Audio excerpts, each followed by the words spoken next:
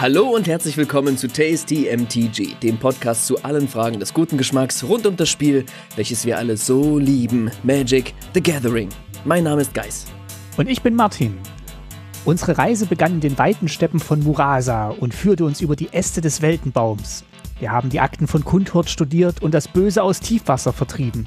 Wir haben Stenson und Kessig von der ewigen Nacht gerettet und die Geister in der materiellen Welt willkommen geheißen.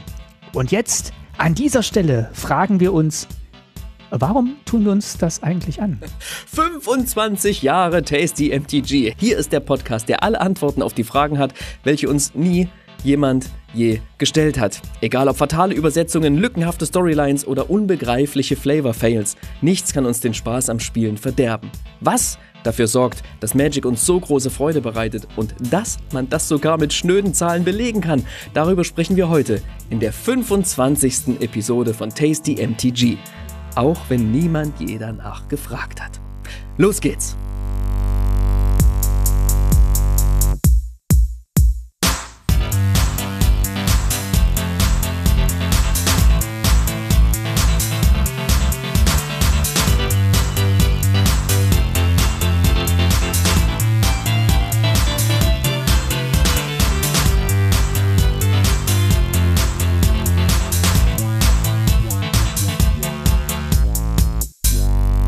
Ja, Geist, total irre, was wir schon alles äh, erlebt haben, habe ich jetzt beim Vorbereiten nochmal gemerkt. Ja, erstmal herzlichen Glückwunsch, Martin. Dankeschön, Zum, zum Jubiläum. Herzlichen Glückwunsch zum Jubiläum. Wir feiern Silberhochzeit, wenn du so willst. Ist das nach 25 Jahren? Ja, schon, ne? Das ist nach 25 Jahren. Ja, herzlichen Glückwunsch genau. dir. Ja, schön. So lange sind wir also schon zusammen. Das freut mich sehr. Natürlich keine 25 Jahre, sondern so gut anderthalb. Genau, September 2020 ging's los. Ja. Ja, ja, toll. Schön. Ähm, aber ge gefühlt ist es eine lange Zeit, ne? Also wir veröffentlichen ja jetzt nicht wöchentlich Episoden so, sondern an anfänglich monatlich, zwischendurch auch mal dreiwöchentlich, jetzt wieder so anderthalb monatlich. Immer wenn es was zu berichten gibt, so wie heute. Was ganz Tolles gibt es zu berichten. Ja, für die heutige Folge haben wir uns echt was ganz Besonderes einfallen lassen. Nämlich untersuchen wir, ähm, was macht Spaß an Magic? Und wenn ich untersuchen meine, dann meine ich, wir gehen mit wissenschaftlicher Genauigkeit daran, denn mh, wir haben eine kleine Maschine gebaut. Du hast eine Sie kleine Maschine schon- gebaut. Ich habe ich hab eine kleine Maschine gebaut, die ermittelt, wie viel Spaß bestimmte Spielmechanismen und bestimmte Karten machen. So. Mehr sage ich hier an der Stelle aber nicht. Ich habe Was? die noch nicht ähm, zu Ende getestet. Ich bin jetzt sehr gespannt, wenn du mir die nochmal erklärst und wir die dann gemeinsam auch nochmal auf den Prüfstand stellen können. Es ist ein Prototyp. Das ist ein Prototyp und äh, wir, wir testen den heute. Das machen wir. Und ähm, ja, sonst nicht viel anderes, ne? Wir gucken uns genau diese Maschine an. Aber ich würde sagen, bevor wir auf die Maschine eingehen, werfen wir noch mal einen kurzen Blick zurück mit einer ähm, deftigen Vorspeise, nämlich ähm, Pizza Pasta. Ich habe alles, ähm, ich habe heute Gerichte rausgesucht für uns, die ähm, Spaß machen aus unterschiedlichen Gründen. Und ähm, du sagtest mir ja schon, dass du auch gern Pizza mit Pasta obendrauf, also nicht Mega gut. Pizza und Pasta, sondern Pizza belegt mit Pasta isst. Ähm, gibt's auch als Pizza Bolognese. Und ich bin sehr froh, da einen, einen Gleichgesinnten gefunden zu haben. Und ich wusste gar nicht, dass du das auch so zu schätzen weißt, wie, wie ich. Ähm, von daher schön, du kannst, dass du meine Freude teilen kannst. Genau, äh, wenn wir eins gelernt haben in den 25 Folgen, uns verbindet sehr viel. Auch die Pizza Pasta. Guten Appetit. Also guten Appetit.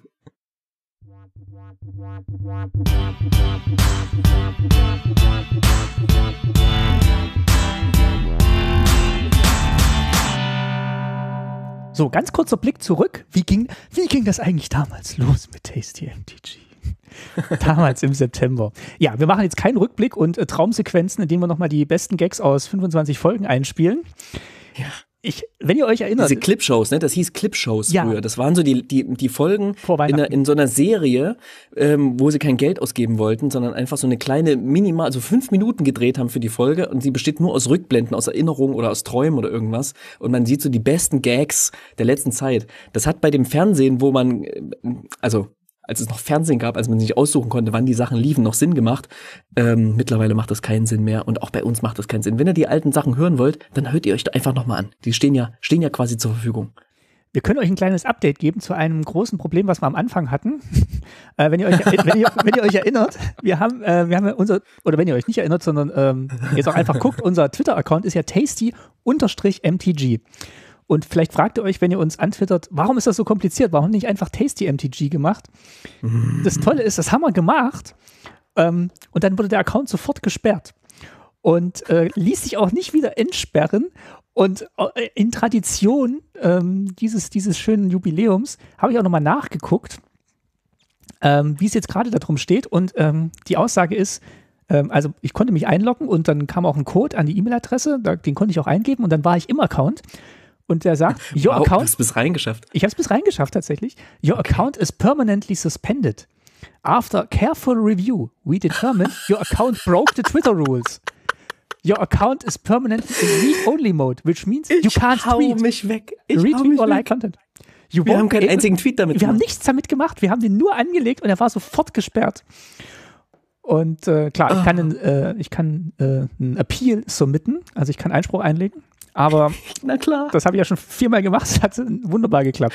Dreimal mit dem Anwalt gedroht. Ähm, ja, wir werden, Tasty MTG hätte tatsächlich eher gestartet.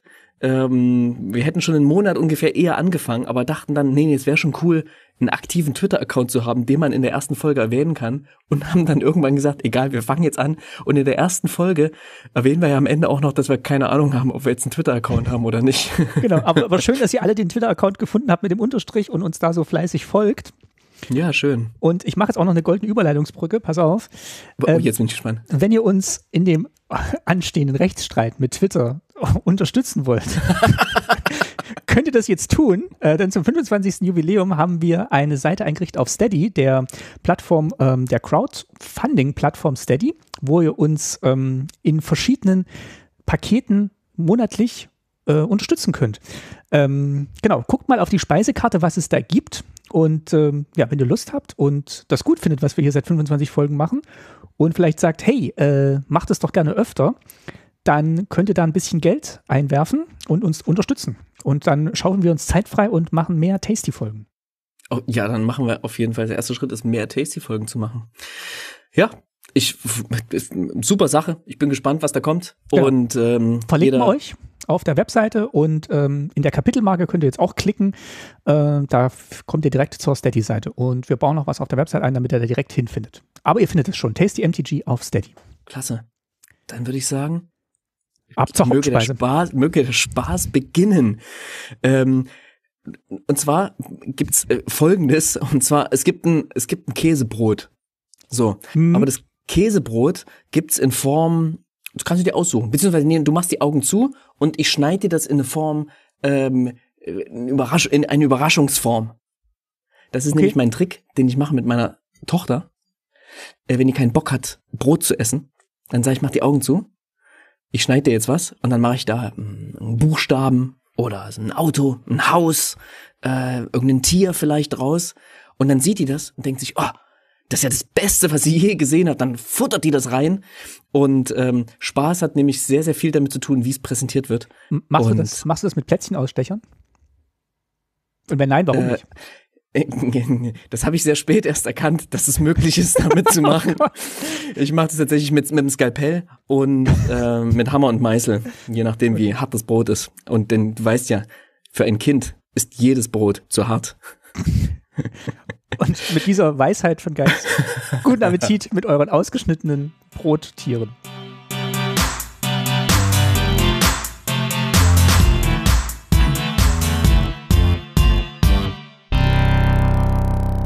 Hat mein Papa in der DDR schon gemacht mit den äh, Plätzchenausstechern.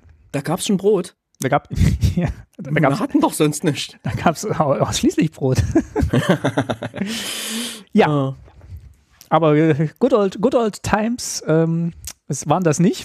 ja, ich wollte gerade sagen, wie endet dieser Satz? Kurve noch gekriegt, natürlich.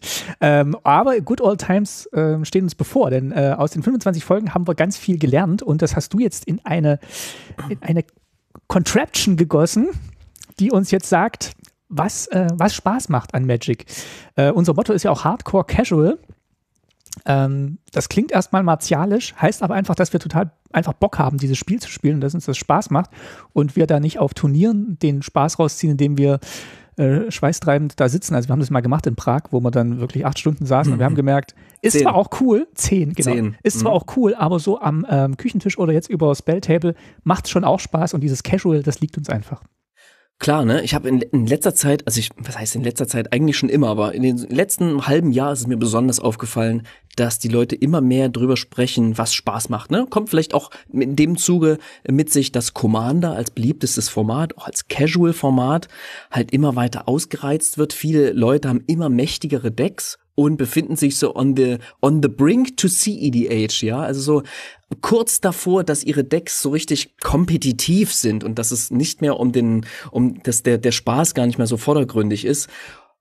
Und ähm, auch bei Twitter haben wir immer wieder gemerkt, als wir gefragt haben, hey, was, was macht Spaß beim Magic-Spielen, plötzlich gab es da so Überschneidungen. Ne? Und ich habe so gemerkt, hey, in sowas Subjektiven wie Spaß, da gibt's offenbar Dinge drin, auf die können sich, können sich die Leute einigen die finden viele Leute gleichzeitig spaßig oder viele Leute gleichzeitig unspaßig. Und daraufhin fing das ein bisschen an, dass ich das, dass ich das mal selber so ein bisschen untersucht habe. ähm, was macht, was macht dir denn so persönlich Spaß beim am Magic spielen? Was ist denn so das, was dich dranhält? So ganz persönlich für dich so ein, ein Ding? Also schon so dieses, ähm, dieses Combo auf einem niedrigen Level. Also wenn, wenn ich was mache und das löst dann viel aus. Deswegen spiele ich auch sehr gerne Enchantments. Also ich ähm, finde Enchantments eines der besten Kartentypen, weil das, weil das immer so einen kleinen äh, Effekt erzeugt, wenn ich was anderes mache. Also das macht mhm. mir Spaß. Wenn ich, mhm. wenn ich was spiele und dann passiert gleichzeitig noch was anderes. Naja. Ja, es passiert einfach super viel, ne? Egal wen ich frage, wem ich diese Frage in den letzten, letzten Monaten gestellt habe, es kommen immer grundlegend unterschiedliche Antworten so. Ähm, was ich gemacht habe, ist aber, ich habe das ein bisschen systematischer angegangen und ein bisschen genauer hingeguckt und mir vor allem die Mechanismen von Magic angeschaut. Also ich habe es wirklich versucht, so konkret wie möglich zu machen bevor wir sozusagen auf die einzelnen, auf die einzelnen ähm, Dinge angehen, vielleicht ähm, äh, auf die einzelnen Dinge der Maschine quasi eingehen und zu so beschreiben, auch wie diese Maschine überhaupt aussieht und was das überhaupt ist, ja, ähm, vielleicht nochmal so ein paar grundlegende, grundlegende Sachen zu, zu Magic, ja. Jetzt wird so ein bisschen, wir setzen mal die Game Designer Hüte auf und, und bewegen uns mal ein bisschen so in die, in die mechanische Welt von Magic rein. Ja, und ähm, wir sagen ja gern Mechanismen, ne? andere Leute sagen Mechaniken, es ist ein und dasselbe. Und wenn wir heute beide Begriffe benutzen, wir werden die bestimmt oft benutzen, dann ähm, keiner davon ist falsch. Mechaniken wird öfter benutzt ähm, als, als Mechanismen. Ich sage sehr gern Mechanismen. So, das, das kurz vorab. Aber ja, was man immer wieder hört, Leute ziehen gerne Karten.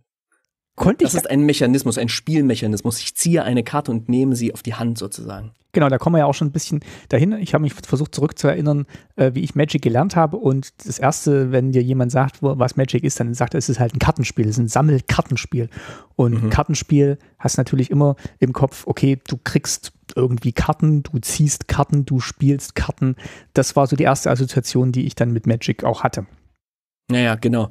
Ich finde noch ganz entscheidend das Kampfsystem, was, in, was es in Magic gibt. Ja, also dass du quasi jede Runde gibt es so ein Abgleich von ja, so ein Abgleich von Stärke der Karten, die du ausgespielt hast, ja. Also man hat die Möglichkeit anzugreifen, man hat die Möglichkeit zu blocken, aggressiv zu spielen, defensiv zu spielen, ne? Aber gleichzeitig ist es natürlich auch ein Spiel, was sozusagen mit, mit Karten, mit Kartenspiel so Permanence quasi, also bleibende Karten, die im Spiel sind, aber es gibt eben auch diese Karten, die man nur einmalig einsetzen kann, ähm, was wiederum ganz unterschiedliche Spielmechanismen mit sich bringt. Aber das ist so ein, ein grundlegender Gedanke von, von Richard Garfield sozusagen gewesen, ne? dass es ein Spiel ist ähm, von Karten, die ich ins Spiel bringen kann, die mir immer wieder einen kleinen Vorteil bringen. Oder halt sehr starke Karten, die ich einmalig spielen kann, aber die dann halt erstmal nicht mehr so leicht zugänglich sind, weil sie dann in den Friedhof wandern. Anderes grundlegendes Ding ist natürlich das Mana-System. Ne? Ich kann nicht alles spielen, was ich ziehe, sondern es gibt halt dieses Ding, dass ich mich darum kümmern muss, dass ich quasi auch die Ressourcen habe, diese Karten auszuspielen. Und ich kann eh nicht alles spielen, weil ich muss mich für eine Farbe entscheiden. So, es gibt diese fünf Farben, ja, und die sind ja, ich sag mal, auch inhaltlich so eine ganz, ganz wichtige, ganz, ganz wichtige Grundlage und sorgen auch dafür, dass unterschiedliche, ja, SpielerInnen, ja, unterschiedlich angesprochen werden von den einzelnen Fähigkeiten, die diese Farben mit sich bringen und, und von den Schwächen, die diese Farben mit sich bringen. Hat mich tatsächlich am Anfang ein bisschen verwirrt. Also ich, wir hatte ich weiß gar nicht woher, wir hatten uns diese Dual-Decks gekauft, genau, und da war so eine Anleitung drin, da waren auch die fünf Farben beschrieben und ich dachte, oh ja, hier blau liest sich ganz gut, bis ich dann tatsächlich so nach mehreren Spielen festgestellt habe, ich spiele gar nicht so gerne blau. Mhm, mhm. ähm, äh, deswegen hat es mich am Anfang eher verwirrt, aber da uns das ein Freund beigebracht hat, war es eigentlich tatsächlich, was du gerade beschrieben hast. Also hier, du ziehst Karten, du spielst Kreaturen und dann greifst du mit denen an. Das ist auch, glaube ich, so das, wo die meisten reinkommen. Also die meisten werden, glaube ich, ähm, jetzt nicht so ein Spells-Deck, also ein Zaubersprüche-Deck haben, sondern mhm. tatsächlich, was du gesagt hast, mit Permanence, also Karten, die dann auch physisch vor einem liegen und mhm. ähm, damit irgendwas äh, versuchen zu bewerkstelligen. Mhm. Wir werden gleich noch ganz konkret erstmal noch so ein paar so ganz allgemeine Sachen. Ne? Also Magic ist auch ein Spiel, was dadurch interessant ist, dass es offene Informationen gibt. Also Karten, die offen auf dem Tisch liegen, wo man genau weiß, ah, der Gegner hat eine Kreatur, die ist so stark. Und im Friedhof liegen diese und jene Karten, auf die er vielleicht wieder Zugriff hat. Aber es gibt eben auch verdeckte Informationen, die ähm, für den Gegner verdeckt sind, weil es Karten sind, die ich auf der Hand habe oder verdeckt auf dem Tisch liegende Karten. Und es gibt auch für mich verdeckte Informationen, also die Bibliothek, die einfach gemischt daneben liegt, wo ich nicht weiß, was als nächstes kommt. Also das ist schon auch spannend, wie so der ganze Informationsfluss ist. Ähm, Karten wechseln Zonen. Ne? Also ich weiß noch, ich habe mal ein Interview gehört von, ich glaube, äh, Brian David Marshall war das, ein so ein, ja, ein Magic-Historiker, wenn man so will, und, und, und, und ein Connoisseur des, des Spiels, der sagte halt so, Magic macht Spaß, weil Karten immer wieder Zonen wechseln. So, und weil äh, Karten ihre Zustände verändern. Die werden getappt, die werden untappt, die werden umgedreht, die gehen in den Friedhof, die gehen auf die Hand, die gehen in die Bibliothek und so weiter. Ähm, und Magic ist letztlich auch ähm, und das ist ja so, das ist ja so ein, ein, ein Spezialgebiet von Richard Garfield.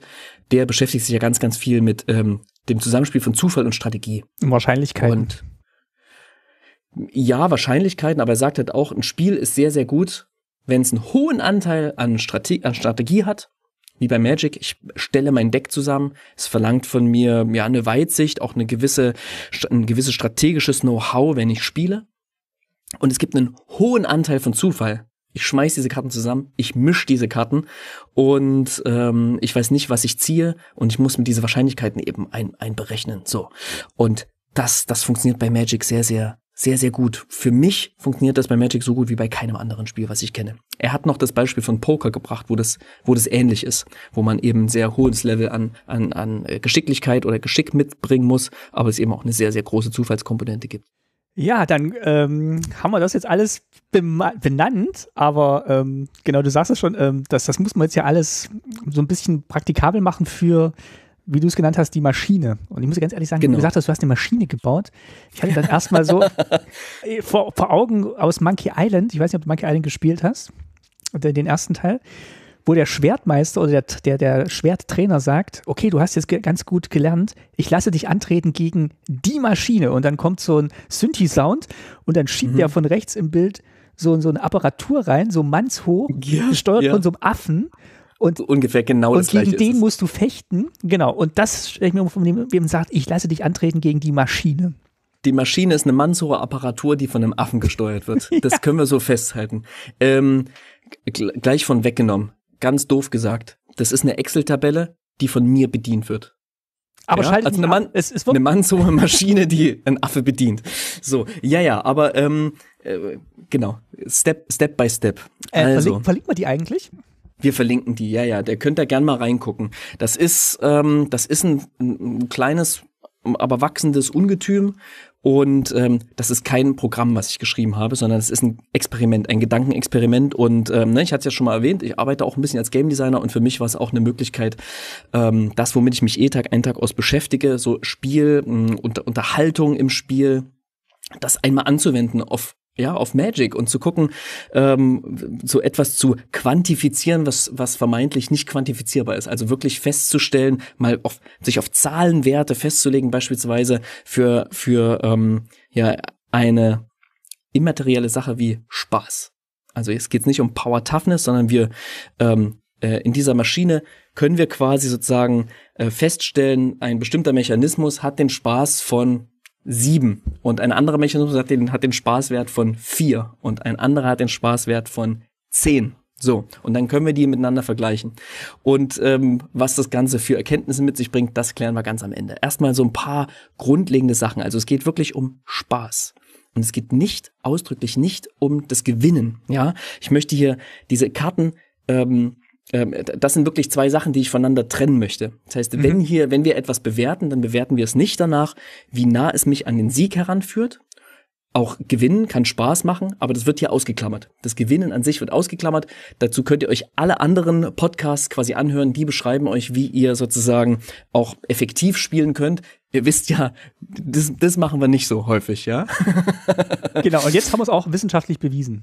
Und jetzt, jetzt sind wir gerade dabei, das wissenschaftlich zu beweisen, ja. Aber genau, das ist ganz wichtig zu verstehen für diese, für diese Maschine. Das heißt, wenn wir gleich den, äh, keine Ahnung, den Black Lotus evaluieren, ja, dann bewerten wir quasi nicht, wie gut ist der im Spiel, so, oder wie, was, welche Rolle spielt sein monetärer Wert, sondern wir gucken, wie viel Spaß macht es, den Black Lotus zu spielen. Einfach nur dieses Stück Papier mit dem Mechanismus da drauf. Und wir betrachten den Mechanismus.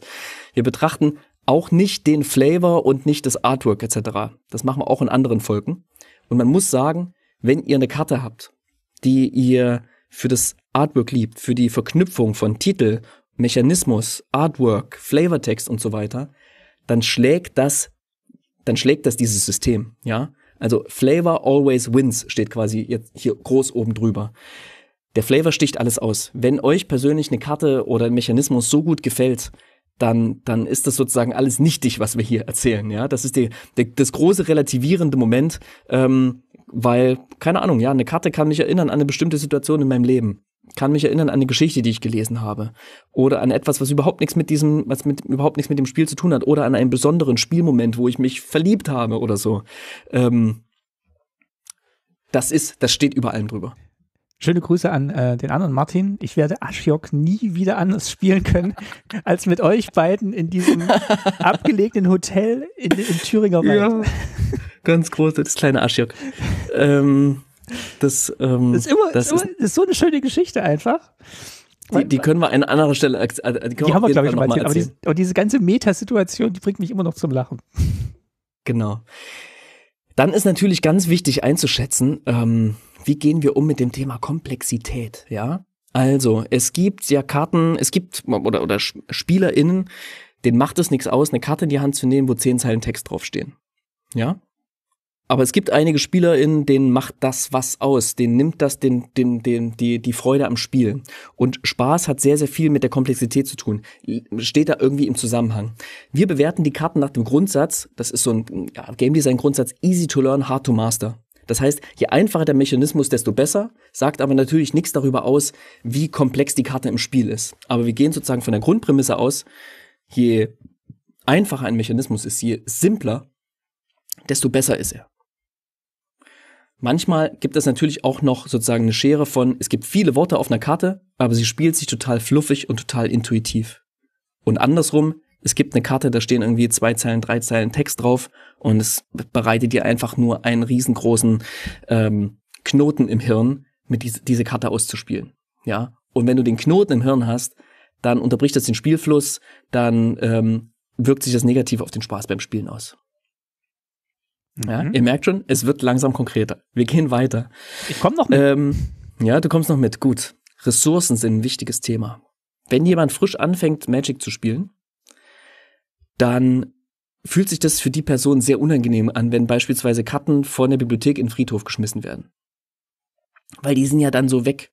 Dann die kommen, also ne, also man weiß ja, man hat ja am Anfang, kennt man noch nicht die ganze Palette von Tools, die, die es gibt, um, um den Friedhof halt auch als Ressource wahrzunehmen. Und wir gehen davon aus, dass wir sozusagen den Spaß bewerten, nicht für Leute, die gerade erst anfangen, Magic zu spielen, sondern Leute, die quasi schon verstanden haben, hey, meine Ressourcen sind natürlich das Mana, was ich vor mir liegen habe, das sind aber auch Handkarten, das ähm, ist mein Friedhof, das ist meine Bibliothek, also alles, was irgendwie im Spiel zur Verfügung steht. Ne? Also ich bewerte jetzt sozusagen den Spaß einer Karte nicht nicht ähm, schlechter, nur weil draufsteht, um als zusätzliche Kosten, um diesen Spruch zu wirken, ähm, werfe zwei Karten ab.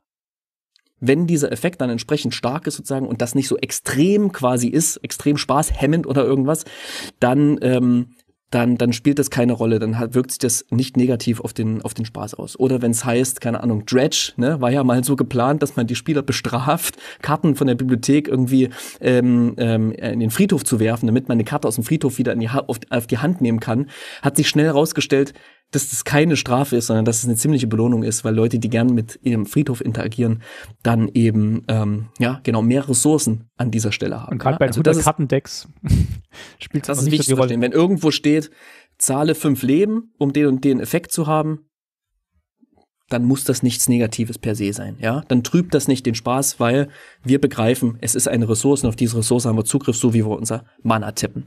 Gleichwohl gucken wir trotzdem, es gibt bestimmte Karten, die ressourcenmäßig extrem rausstechen. Ja, wenn ich extrem viel Mana bezahlen muss, um eine Karte zu spielen und ich nichts weiter sonst machen kann, dann kann ich einfach unterm Strich weniger spielen. Das ist natürlich doof. Wenn eine Karte extrem wenig kostet, keine Ahnung, kommen wir gleich, Beispiele bringe ich gleich noch, dann berücksichtigen wir das auch.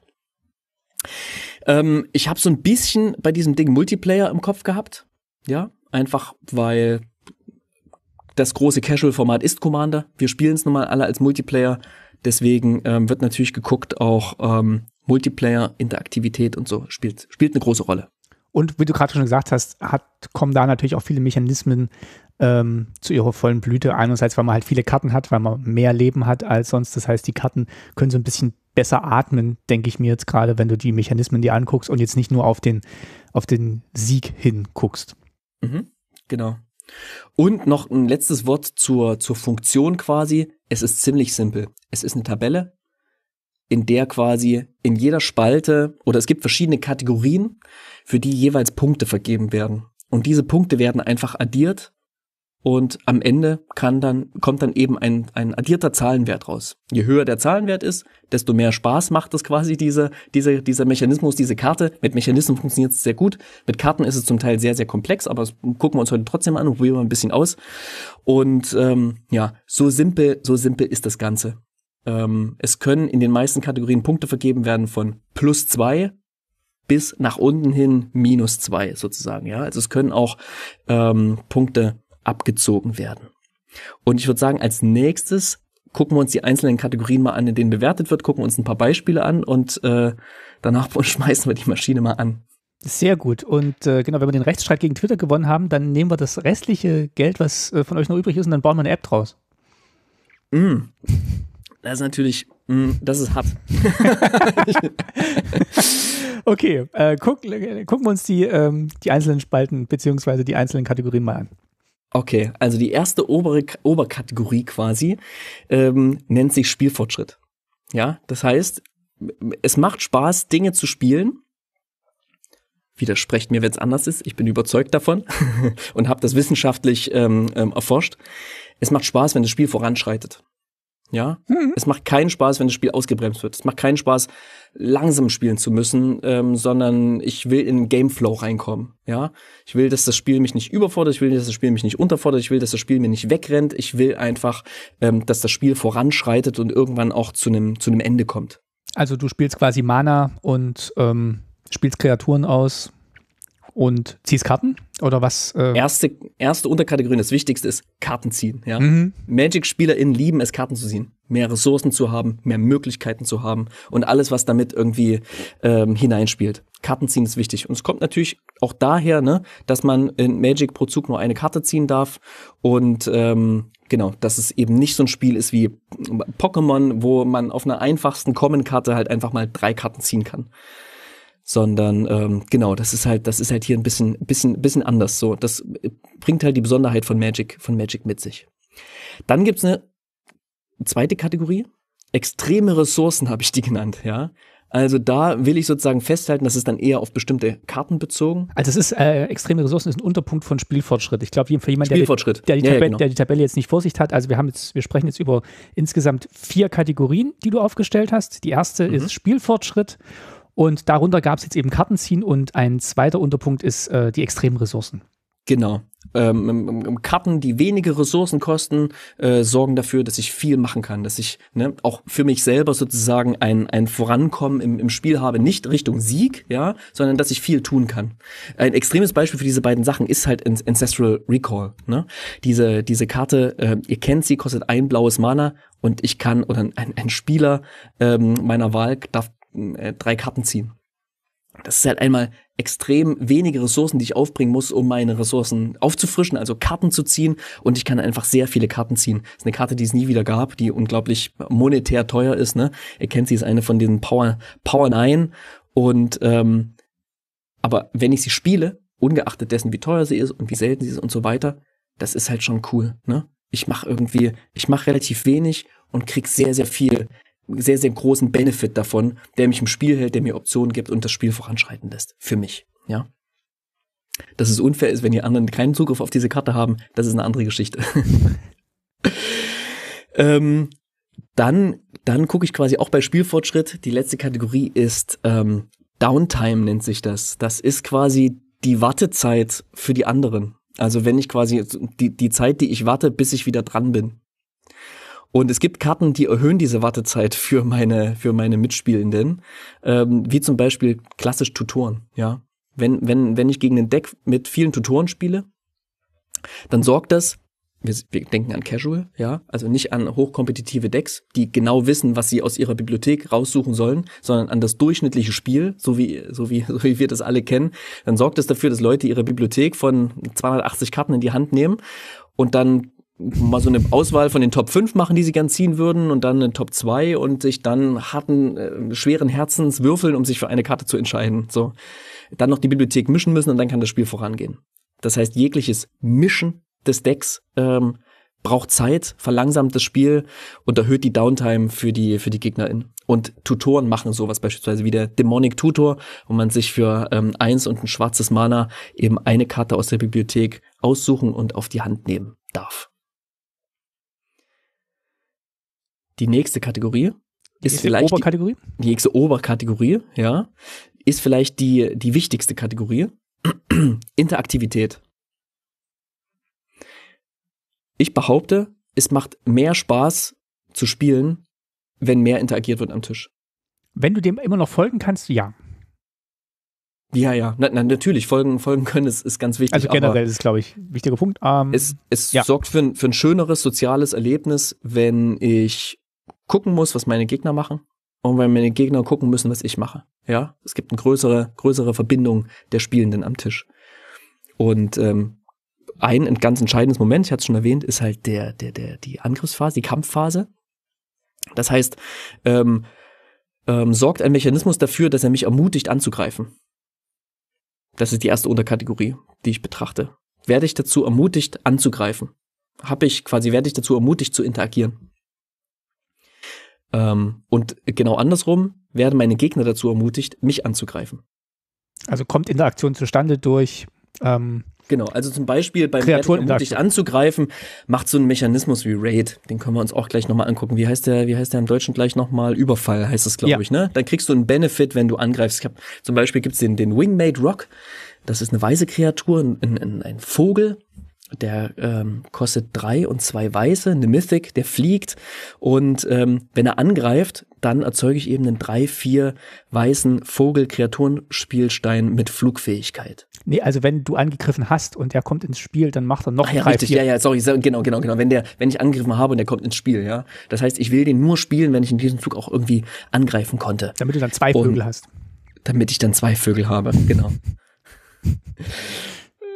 ähm, Richtig. Und angegriffen, angegriffen werden, das gibt's tatsächlich nicht so oft. Aber ähm, beispielsweise gab's in Mitternachtsjagd diesen schönen Mechanismus äh, Coven, Hexenzirkel, wo es eben darum geht, dass ich ähm, drei oder mehr Kreaturen mit unterschiedlicher Stärke kontrolliere. Da hat mein Gegner dann natürlich ein großes, großes Interesse daran, das irgendwie zu stören, diese, diese bestehenden Kreaturen, ähm, will mich dazu zwingen, irgendwie ähm, zu blocken mit einer Kreatur, ähm, dass eine Kreatur totgeblockt wird beispielsweise, damit ich den Benefit nicht mehr habe. Also das ist ein Mechanismus, der ermutigt ist, der ermutigt mich oder ermutigt meine Gegner, mich anzugreifen. Wie gesagt, es geht hier nicht darum zu gewinnen, sondern es geht um Spaß, ja, muss man immer wieder, immer wieder sagen, ja. Ähm, das, das sind, das sind durchaus zwei verschiedene Paar, verschiedene Paar Schuhe.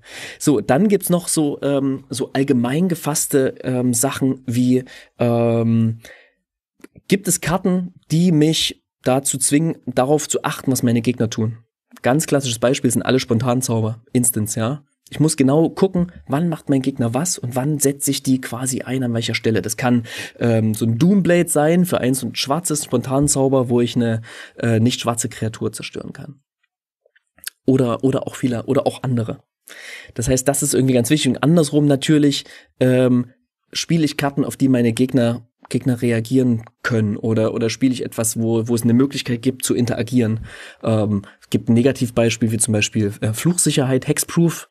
Ähm, wenn halt eine Karte Hexproof hast, hat, dann kann man mit der halt nur sehr schwer interagieren. Die schränkt mhm. halt dann einfach die Interaktionsmöglichkeiten ein und die Möglichkeiten mit mir als, als Spieler, mit meinen, mit dem, was ich tue, zu interagieren und schließt die anderen so ein bisschen aus. Hat ja Wizards mittlerweile auch eingesehen, ne? Und gemerkt, dass sie das, dass sie das doof finden auch und haben beispielsweise diese ähm, Ward, wie heißt das auf Deutsch? Abwehr? Abwehr. Abwehr äh, erdacht, wo man, ähm, was auch eine Art Hexproof ist, aber wo man das Hexproof quasi umgehen kann, wenn man einen bestimmten, ja, bestimmte Kosten bezahlt, einen Mana-Betrag oder ich glaube, es gab auch noch andere Karten Leben oder so. Leben ja, war auch mal Abwehrkosten. Genau. Mhm. Also Interaktivität, du siehst vier Unterkategorien, ne? In jeder, in jeder Kategorie können maximal zwei Punkte erreicht werden. Das heißt, hier könnte man insgesamt maximal acht Punkte erreichen, ja. Damit wollte ich auch dem sozusagen noch mal ein bisschen mehr Gewicht geben. Wir gehen weiter. Es gibt noch mehr.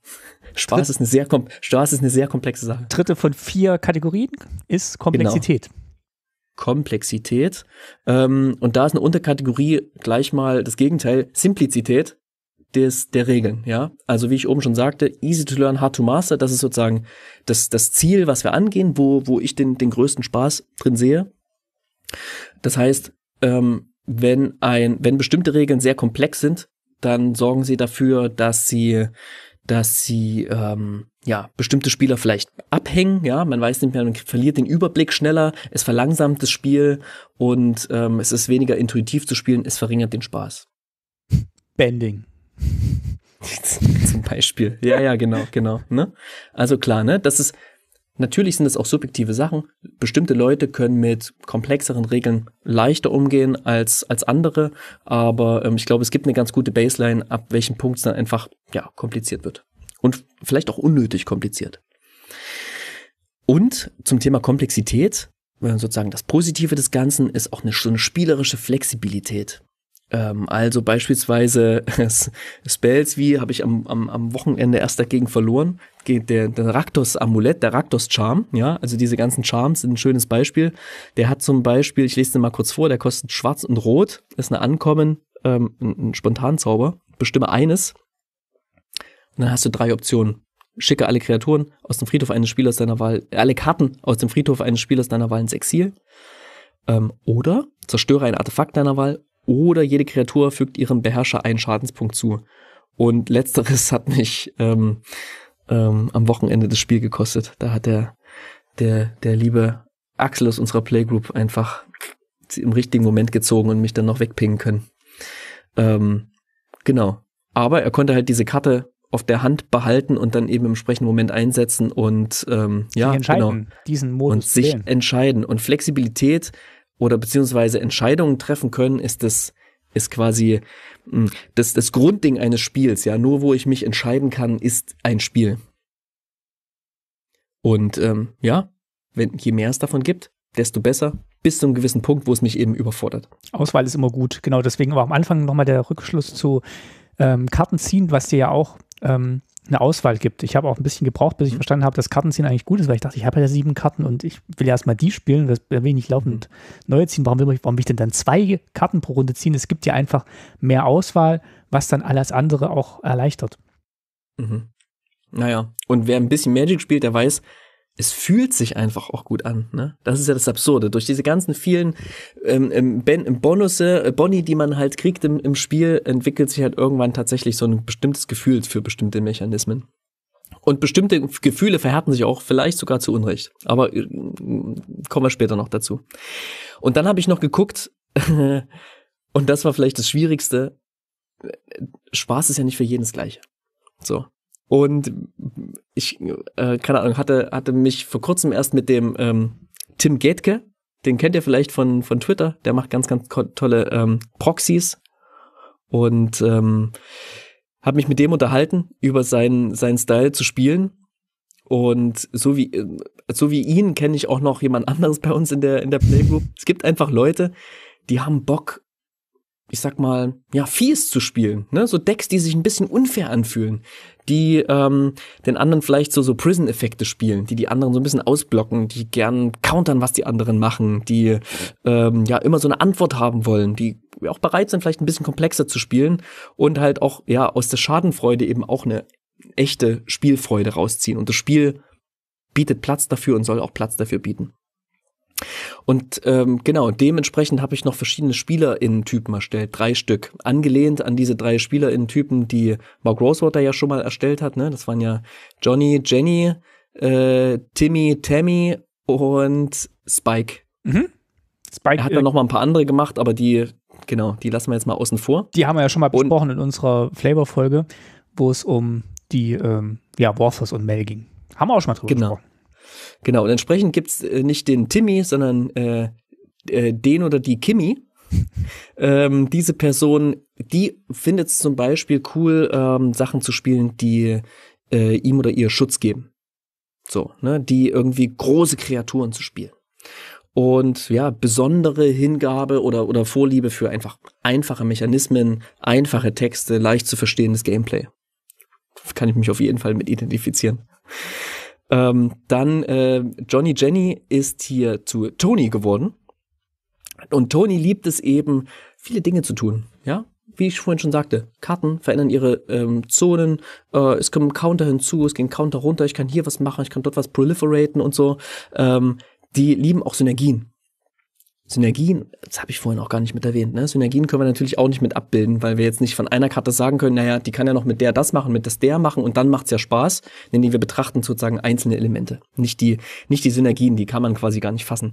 Und ja, genau, das ist quasi unser Toni und ähm, den ähm, den, die Person, die äh, sehr gern aus, mit Schadenfreude eben auch Freude gewinnt, äh, die ist hier nicht ähm, aus, aus quasi dem Spike der ja eigentlich noch mal ein bisschen was anderes ist, aber ist hier Nicky geworden. Und ähm, genau, Nicky macht genau das, was ich schon erwähnt hatte, countert auch gern, äh, spielt gern Prison-Effekte und genau, spielt gern Dinge, die auch eine gewisse Schadenfreude äh, erzeugen, die auch einfach den Gegner so ein bisschen äh, damagen. Wo würdest du dich einsortieren? Überall. Ja, okay, also ich okay. gehe davon aus, dass dass äh, keine einzige Person einem einer einer Kategorie zuzuordnen ist, sondern es gibt bestimmte Karten, die triggern in mir auch sozusagen den den Nicky oder den Tony oder den Kimi. Das kommt ein bisschen auf an. Deswegen habe ich in diesen Kategorien jeweils noch einen Punkt zu vergeben. Ja, also wenn man das sozusagen zusammenfasst, können dort noch mal drei Punkte gewonnen werden. Puh, so, ich bin am Ende der Tabelle. Das heißt, wir haben jetzt alle Kategorien kennengelernt, die mhm. Du zugrunde gelegt hast. Also ich wiederhole nochmal. Ähm, wir haben Spielfortschritt, Interaktivität, Komplexität und den Spielerinnen-Typ als eine von vier großen Kategorien und alle vier mhm. mit ihren Unterpunkten ähm, gehen quasi in einfacher Wertung in die Bewertung einer Karte ein. Also für jede von diesen Unterpunkten gibt es maximal zwei Punkte. Mhm. Ähm, oder auch zwei Minuspunkte, wenn ich mich richtig äh, entsinne. Genau, es kann auch bis zu zwei Minuspunkte geben. Ne? Das hängt noch ein bisschen davon ab. Wenn wir, wir gehen jetzt gleich mal mit irgendetwas ähm, hier durch, wir suchen uns mal irgendeinen Mechanismus raus. Mit Mechanismen funktioniert es ganz gut, weil die so eine Sache machen ne? und so ein, ein, ein Ding darstellen, quasi einen Mechanismus darstellen. Und wenn ich in der Kategorie sagen kann, ja, dann sind das zwei Punkte. Wenn ich sage, ja, schon, dann ist es ein Punkt. Wenn diese Kategorie keine Rolle für die Karte spielt, dann gibt's null Punkte. Und wenn man sagen kann, äh, nein, die, die sorgt für das Gegenteil davon, dann gibt's minus zwei Punkte und entsprechend dann eben minus eins, wenn sie quasi dem gegenläufig ist, aber es jetzt nicht mit klarem Nein zu beantworten ist. Wie viele Punkte gibt's maximal? Also ähm, jetzt gibt's hier zwölf Kategorien, ne? aber du hast gesagt, die Spielerinnen-Typen, die zählen nur 2, einfach. 4, 6, 8, 10, 12, 14, 16, 18, 20, 21 Punkte. Aber ich sag euch gleich mal, dass ähm, es, ich habe noch nichts gefunden, wo, wo alle Kategorien sozusagen zur Geltung kommen. Es gibt ganz viele, wo man sagen kann, nee, das spielt keine Rolle, spielt keine Rolle, spielt keine Rolle. Zum Beispiel Ressourcen, Mana-Kosten spielt bei Mechanismen weniger eine Rolle als bei Karten beispielsweise. Und auch Downtime ähm, spielt bei den Mechanismen weniger eine Rolle, als äh, wenn wir uns einzelne Karten angucken. Okay, also 21 Punkte gilt es zu schlagen. Dann, ich sag mal so, dass der Mechanismus, den ich von denen, die ich bisher quasi mir angeschaut habe, das sind ein paar irgendwie, 30 oder so, 33 habe ich jetzt schon mal angeguckt. Ähm, die höchste Punktzahl ist 11. Willst du mit dem gleich anfangen? Wollen wir es mit dem gleich machen oder willst du es ein bisschen spannend machen? Nee, von mir aus kann man sehr gerne damit anfangen, weil ähm, das war für mich auch so ein bisschen die Baseline, weil es der Mechanismus war, ihr könnt gerade ein bisschen mitraten, während ich das noch beschreibe, der Mechanismus, auf den sich die meisten einigen konnten. Und von allen, alle Leute, die ich, die ich gefragt hatte, ähm, haben gesagt, ja, ja, das macht mir richtig Spaß und deswegen war es für mich auch entscheidend zu sehen, bildet das diese Maschine ab. Und so überprüfen wir die jetzt einfach mal ein bisschen. Wir, wir geben mal was rein, wovon man so landläufig denkt, dass es viel Spaß macht. Dann etwas von, von wovon wir vielleicht wissen, dass es keinen Spaß macht. Und diese ganzen anderen, die uns dann vielleicht im Verhältnis zu den, zu den anderen Dingen, ähm, ja, vielleicht erst auffallen werden, dass sie Vorteile bieten, wenn es um den Spaßfaktor geht. Wir beginnen mit Monarch. Monarch ist, hat die Krone aktuell. Genau, Monarch hat die Krone und zwar mit Abstand. Und zwar mit Abstand. Wir gehen mal Stück für Stück durch, ja? Mhm. Also Monarch, ähm, re extreme Ressourcen, Mana-Kosten nenne ich jetzt mal. Spielt keine Rolle. Kann ich Karten ziehen mit Monarch? Kann ich machen. Sogar eine am Ende. Ja, genau. Ich ziehe eine zusätzliche Karte im Zug. Absolutes Ja. Ähm, verändert es die Downtime? Müssen meine GegnerInnen irgendwie länger warten? Nö, Oder geht das Spiel schneller dadurch? Ich ziehe einfach die Karte. Ja, es verändert überhaupt nichts an der Downtime. Ähm, gibt es mir einen Anreiz anzugreifen? Ja, weil dann kann ich Monarch werden. Korrekt, zwei Punkte. Äh, gibt es einen Anreiz, angegriffen zu werden? Auch das, weil dann kann jemand anderes Monarch werden. Absolutes Ja. Ähm, kann mein Gegner äh, ähm, drauf reagieren? Das ist ein bisschen jetzt, das ist, ist eher sowas, was, wo es um, wo es um Spells geht. Das würde ich kurz rauslassen, weil diese Interaktion, wo mein Gegner drauf reagieren kann, die wird schon durch den Kampf abgebildet. Ja, also ich würde mal sagen, durch Kampf ja, anders wird es Durch schwierig. Kampf, ja. Nee, genau, genau. Das Emblem kann mir jetzt nicht weggenommen werden oder so. Das ist einfach eine, eine, ein Zustand, den ich als Spieler habe. Hm. Und ähm, genau, irgendeine Besonderheit, dass ich auf den Gegner reagiere damit, Ja, auch nicht. ja, ne? Die Interaktion findet hier über den Kampf statt. Komplexität, also Simplizität der Regeln.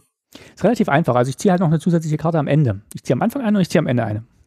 Combat Damage, ich krieg die Krone, ziehe eine Karte. Super simpel. Zwei Punkte. Äh, Flexibilität. Muss ich kurz erinnern, was, das, was das aussagt, aber ist, ähm, Spiel, ich würde sagen, es gibt keine Punkte hier. Es gibt keine Ja. Flexibilität sozusagen. Also, f- äh, wenn, wenn du so willst. du ziehst die Ähm, Karte oder du bist nicht Monarch. ja, ja, genau. Und dann der Spielerin-Typen-Bodus. Kimi, Ja, würde ich sagen, freut sich dann, da hat er äh, mehr äh, Sachen, die er potenziell machen kann. genau, gibt einen Punkt. Toni, freut sich auch. Kann auch mehr machen. äh, Niki, Ähm, freut sich auch. Genau, so habe ich es auch gesehen. Genau so. Und das sind am Ende elf Punkte. Okay, Wir drehen den Regler auf elf. das ist schon mal ein guter, guter Wert. Also das, ähm, man denkt jetzt erst 21, äh, warum hat es jetzt nicht die 21 erreicht? Oder vielleicht kannst du auch sagen, warum es nicht die 21 erreicht hat. Na, weil einfach bestimmte Sachen keine Rolle spielen. Ne? Also es gibt kein, keine bestimmten Mana-Kosten oder Ressourcen, besondere Ressourcen, ne? die irgendwie sehr hoch sind, sehr niedrig. Spielt einfach keine Rolle. Ähm, ähm, es verändert die Downtime nicht, deswegen gibt's hier auch keine, keine Punkte. Es beschleunigt das Spiel nicht, es verlangsamt das Spiel nicht. Es- Genau. Okay, Das sind übrigens, das sind eben die Kategorien, die eher ähm, eine Rolle spielen für äh, und die für die Bewertung von Karten, von einzelnen Karten. das heißt aber auch schon, dass ähm, sich eine Gesamtbewertung eigentlich, also 21 Punkte sehr schlecht erreichen lassen, weil halt unterschiedliche Elemente, die eine Karte spaßig machen, sich auch ein bisschen entgegenstehen. Genau. Das heißt, wir, wir denken jetzt nicht an die 21 Punkte, Mhm. sondern wir denken an die 11 von Monarch. Und überlegen dann eher, warum kommt es nicht an die Qualität oder an den Spaßfaktor von Monarch ran. Okay, Also ich fand es nochmal wichtig zu erwähnen, dass halt diese 21 Punkte nicht, also eigentlich gar nicht erreicht werden können, sondern dass es eigentlich verschiedene äh, Pools sind, aus denen wir den Spielspaß ziehen und sich dadurch dann quasi eher Richtung 10 oder 11 so ein Optimum rausbildet. Mhm, genau. Also ich fasse nochmal zusammen. Bei Monarch waren es drei Punkte für die, für die SpielerInnen quasi, SpielerInnen-Bonus, weil es einfach jedem Spielertyp Spaß macht, was es tut. Es erfüllt irgendwie ganz, ganz viele ähm, äh, Anforderungen quasi. Es ist simpel, es sind zwei Punkte, sind wir bei fünf. Wir haben Interaktion durch den Combat, also sowohl das Angreifen wird, ähm, es gibt einen Anreiz für das Angreifen und es gibt einen Anreiz dafür angegriffen zu werden, sind nochmal vier Punkte mehr, sind wir schon bei neun. Und ich ziehe Karten. Sind wir bei elf. Sag doch mal irgendeinen anderen Mechanismus. Und dann guck mal, was mit dem passiert. Ähm, Also ein Keyword, ne? Ich bin jetzt wirklich mal mit, mit, mit Keywords durchgegangen. So, Äh. das müssen nicht nur Keywords sein. Du kannst, kannst alles sagen, kann auch keyworded irgendwas sein. ähm, jetzt ist die, jetzt ist natürlich die, die Auswahl riesig. Moment, ich überlege mir was Schönes. Du kannst auch gucken, was ich in der Tabelle schauen, was ich Nee, schon gemacht habe, jetzt dann können wir da nicht. durchgehen. Ähm, aber weil ich, da, weil ich davor nochmal drüber gestolpert bin, wie ist es denn mit äh, Ascent? Aufstieg. Ah, okay, das habe ich noch nicht. Okay. Machen wir mal. Also, sag mir noch mal, was Ascent macht. Lass es noch mal vorlesen. Ähm, also Ascent guckt quasi, wie viel Permanence du auf dem Feld hast und du kriegst dann Boni daraus. Ist vielleicht jetzt nicht so ein, ist vielleicht jetzt nicht so ein einfacher Mechanismus zu bewerten, weil die äh, Effekte unterschiedlich sind. Da müsste ich vielleicht was anderes wählen. Ich oder? lese es mal vor. Aufstieg auf Deutsch. Ja. Falls du zehn oder mehr bleibende Karten kontrollierst, erhältst du für den Rest der Partie den Segen der Stadt. Krieg Quasi so einen Zustand. Aber wir können vielleicht den ersten Teil bewerten. Ich glaube, das könnte funktionieren.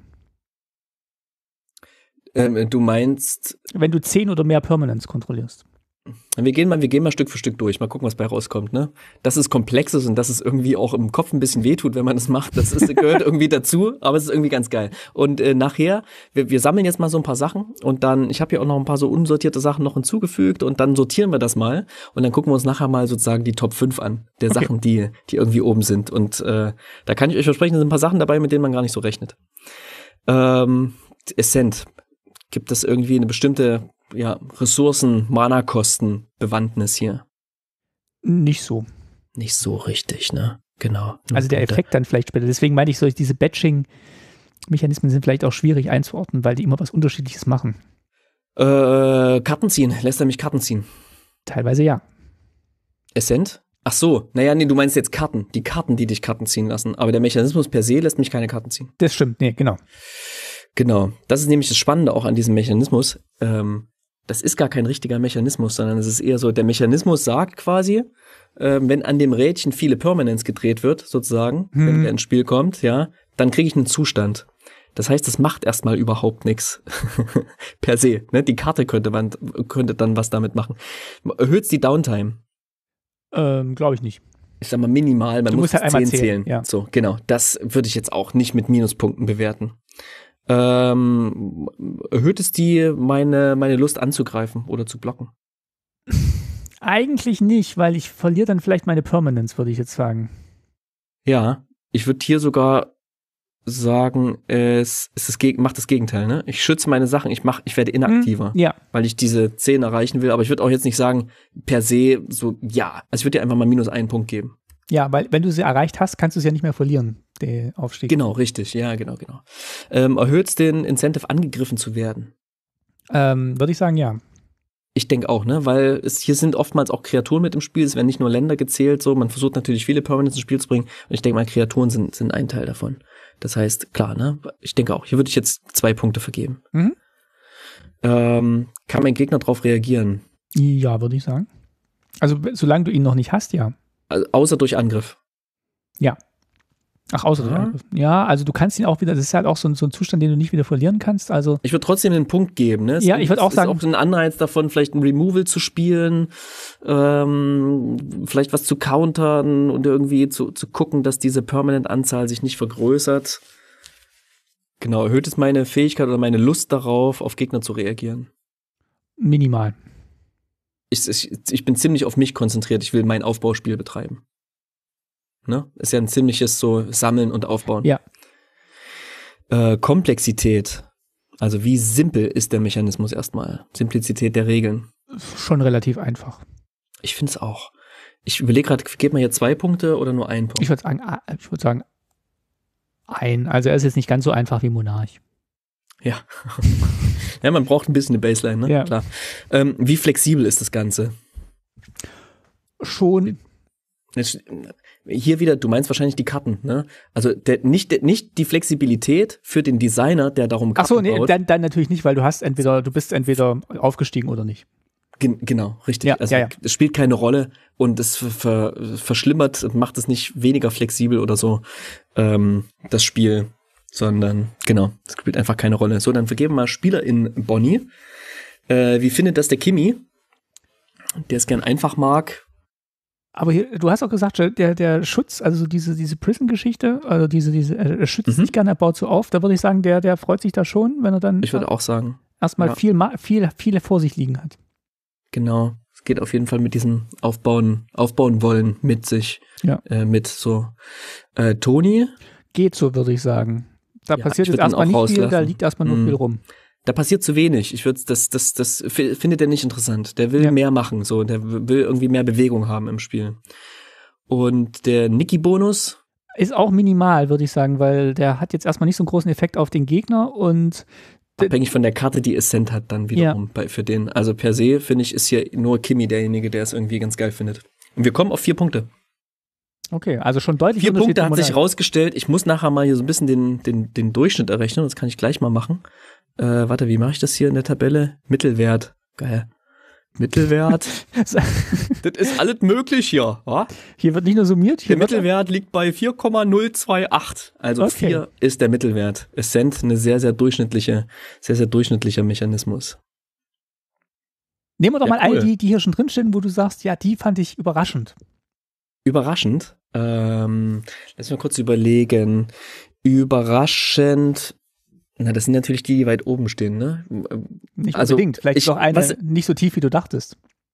Ja, ja, gut über, lass mal, ich, ich hab, mh, Sagas. Sagas finde ich schön, ja. Okay, lass mal durchgehen.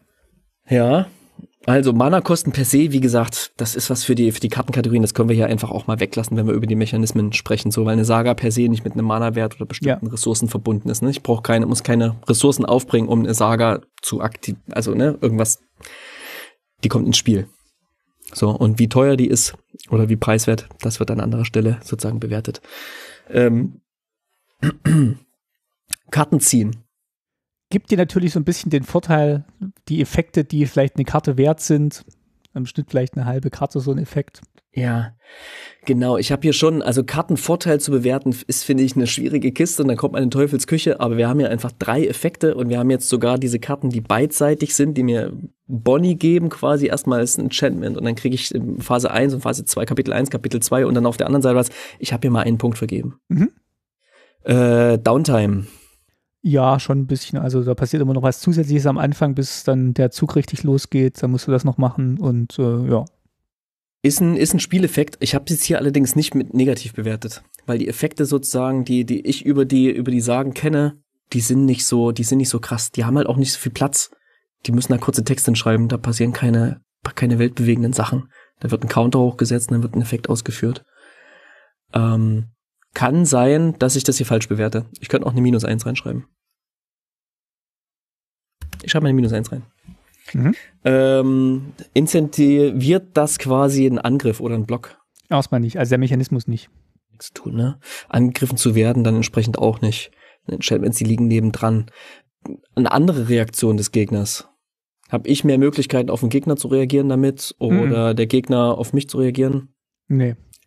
Ist auch wieder so ein bisschen das Aufbauspiel, ne? Äh, Komplexität, Simplizität der Regeln.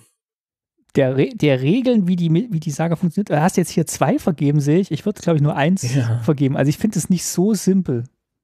Also der Mechanismus der, der Sagen an sich, den finde ich schon ziemlich easy. Es kommt rein, ich lege eine Marke drauf und kriege einen Effekt. Nächste Runde gebe ich, lege ich noch eine Marke drauf. Aber auch wann es passiert oder so, ich finde das nicht so. Das stimmt, wann es passiert, ist tricky, ne? Ja, Vorm und dann kannst du da wieder irgendwie noch was mitmachen dazwischen. Also ich würde, glaube ich, nicht. Okay, Ja, gut, wir ziehen einen Punkt ab. Flexibilität, ja, passiert halt immer, jede Saga funktioniert gleich. Also die ist. funktioniert gleich, gibt Ja. mir keine Entscheidungsmöglichkeiten, ne? Passieren halt einfach nur der Reihe nach. So, wen spricht das an? Kimi, Toni, Niki. Äh, Kimi würde ich auf jeden Fall sagen. Äh, würde ich auf jeden Fall eine Eins geben. Also ist vielleicht. Mhm. Ja. Toni würde ich zwei sagen. Also da passiert schon viel. Nee, ich vergebe bei den Spielertypen jeweils nur einen Punkt. Du vergibst nur einen. Okay, dann- dann- Insgesamt Entschuldigung, drei stimmt, Punkte erreicht werden können. Dann würde ich da sagen auch ein. Und äh, bei Niki, der.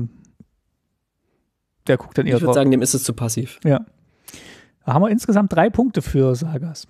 Das ist unterdurchschnittlich und das hat mich überrascht, weil ich dachte, Sagen würden besser abschneiden. Aber wie du schon gesagt hast, das ist ja natürlich auch immer ähm, bei solchen äh, sehr, sehr blumigen Mechanismen, die eigentlich äh, nicht so, die eigentlich nicht immer den gleichen Effekt haben, auch sehr schwierig einzuordnen. Na, das Äh. große Ding ist halt, die Sagen, die sind halt einfach, die, die haben, die, das, die haben nichts mit den anderen Spielern zu tun. So, die sind halt super nicht interaktiv.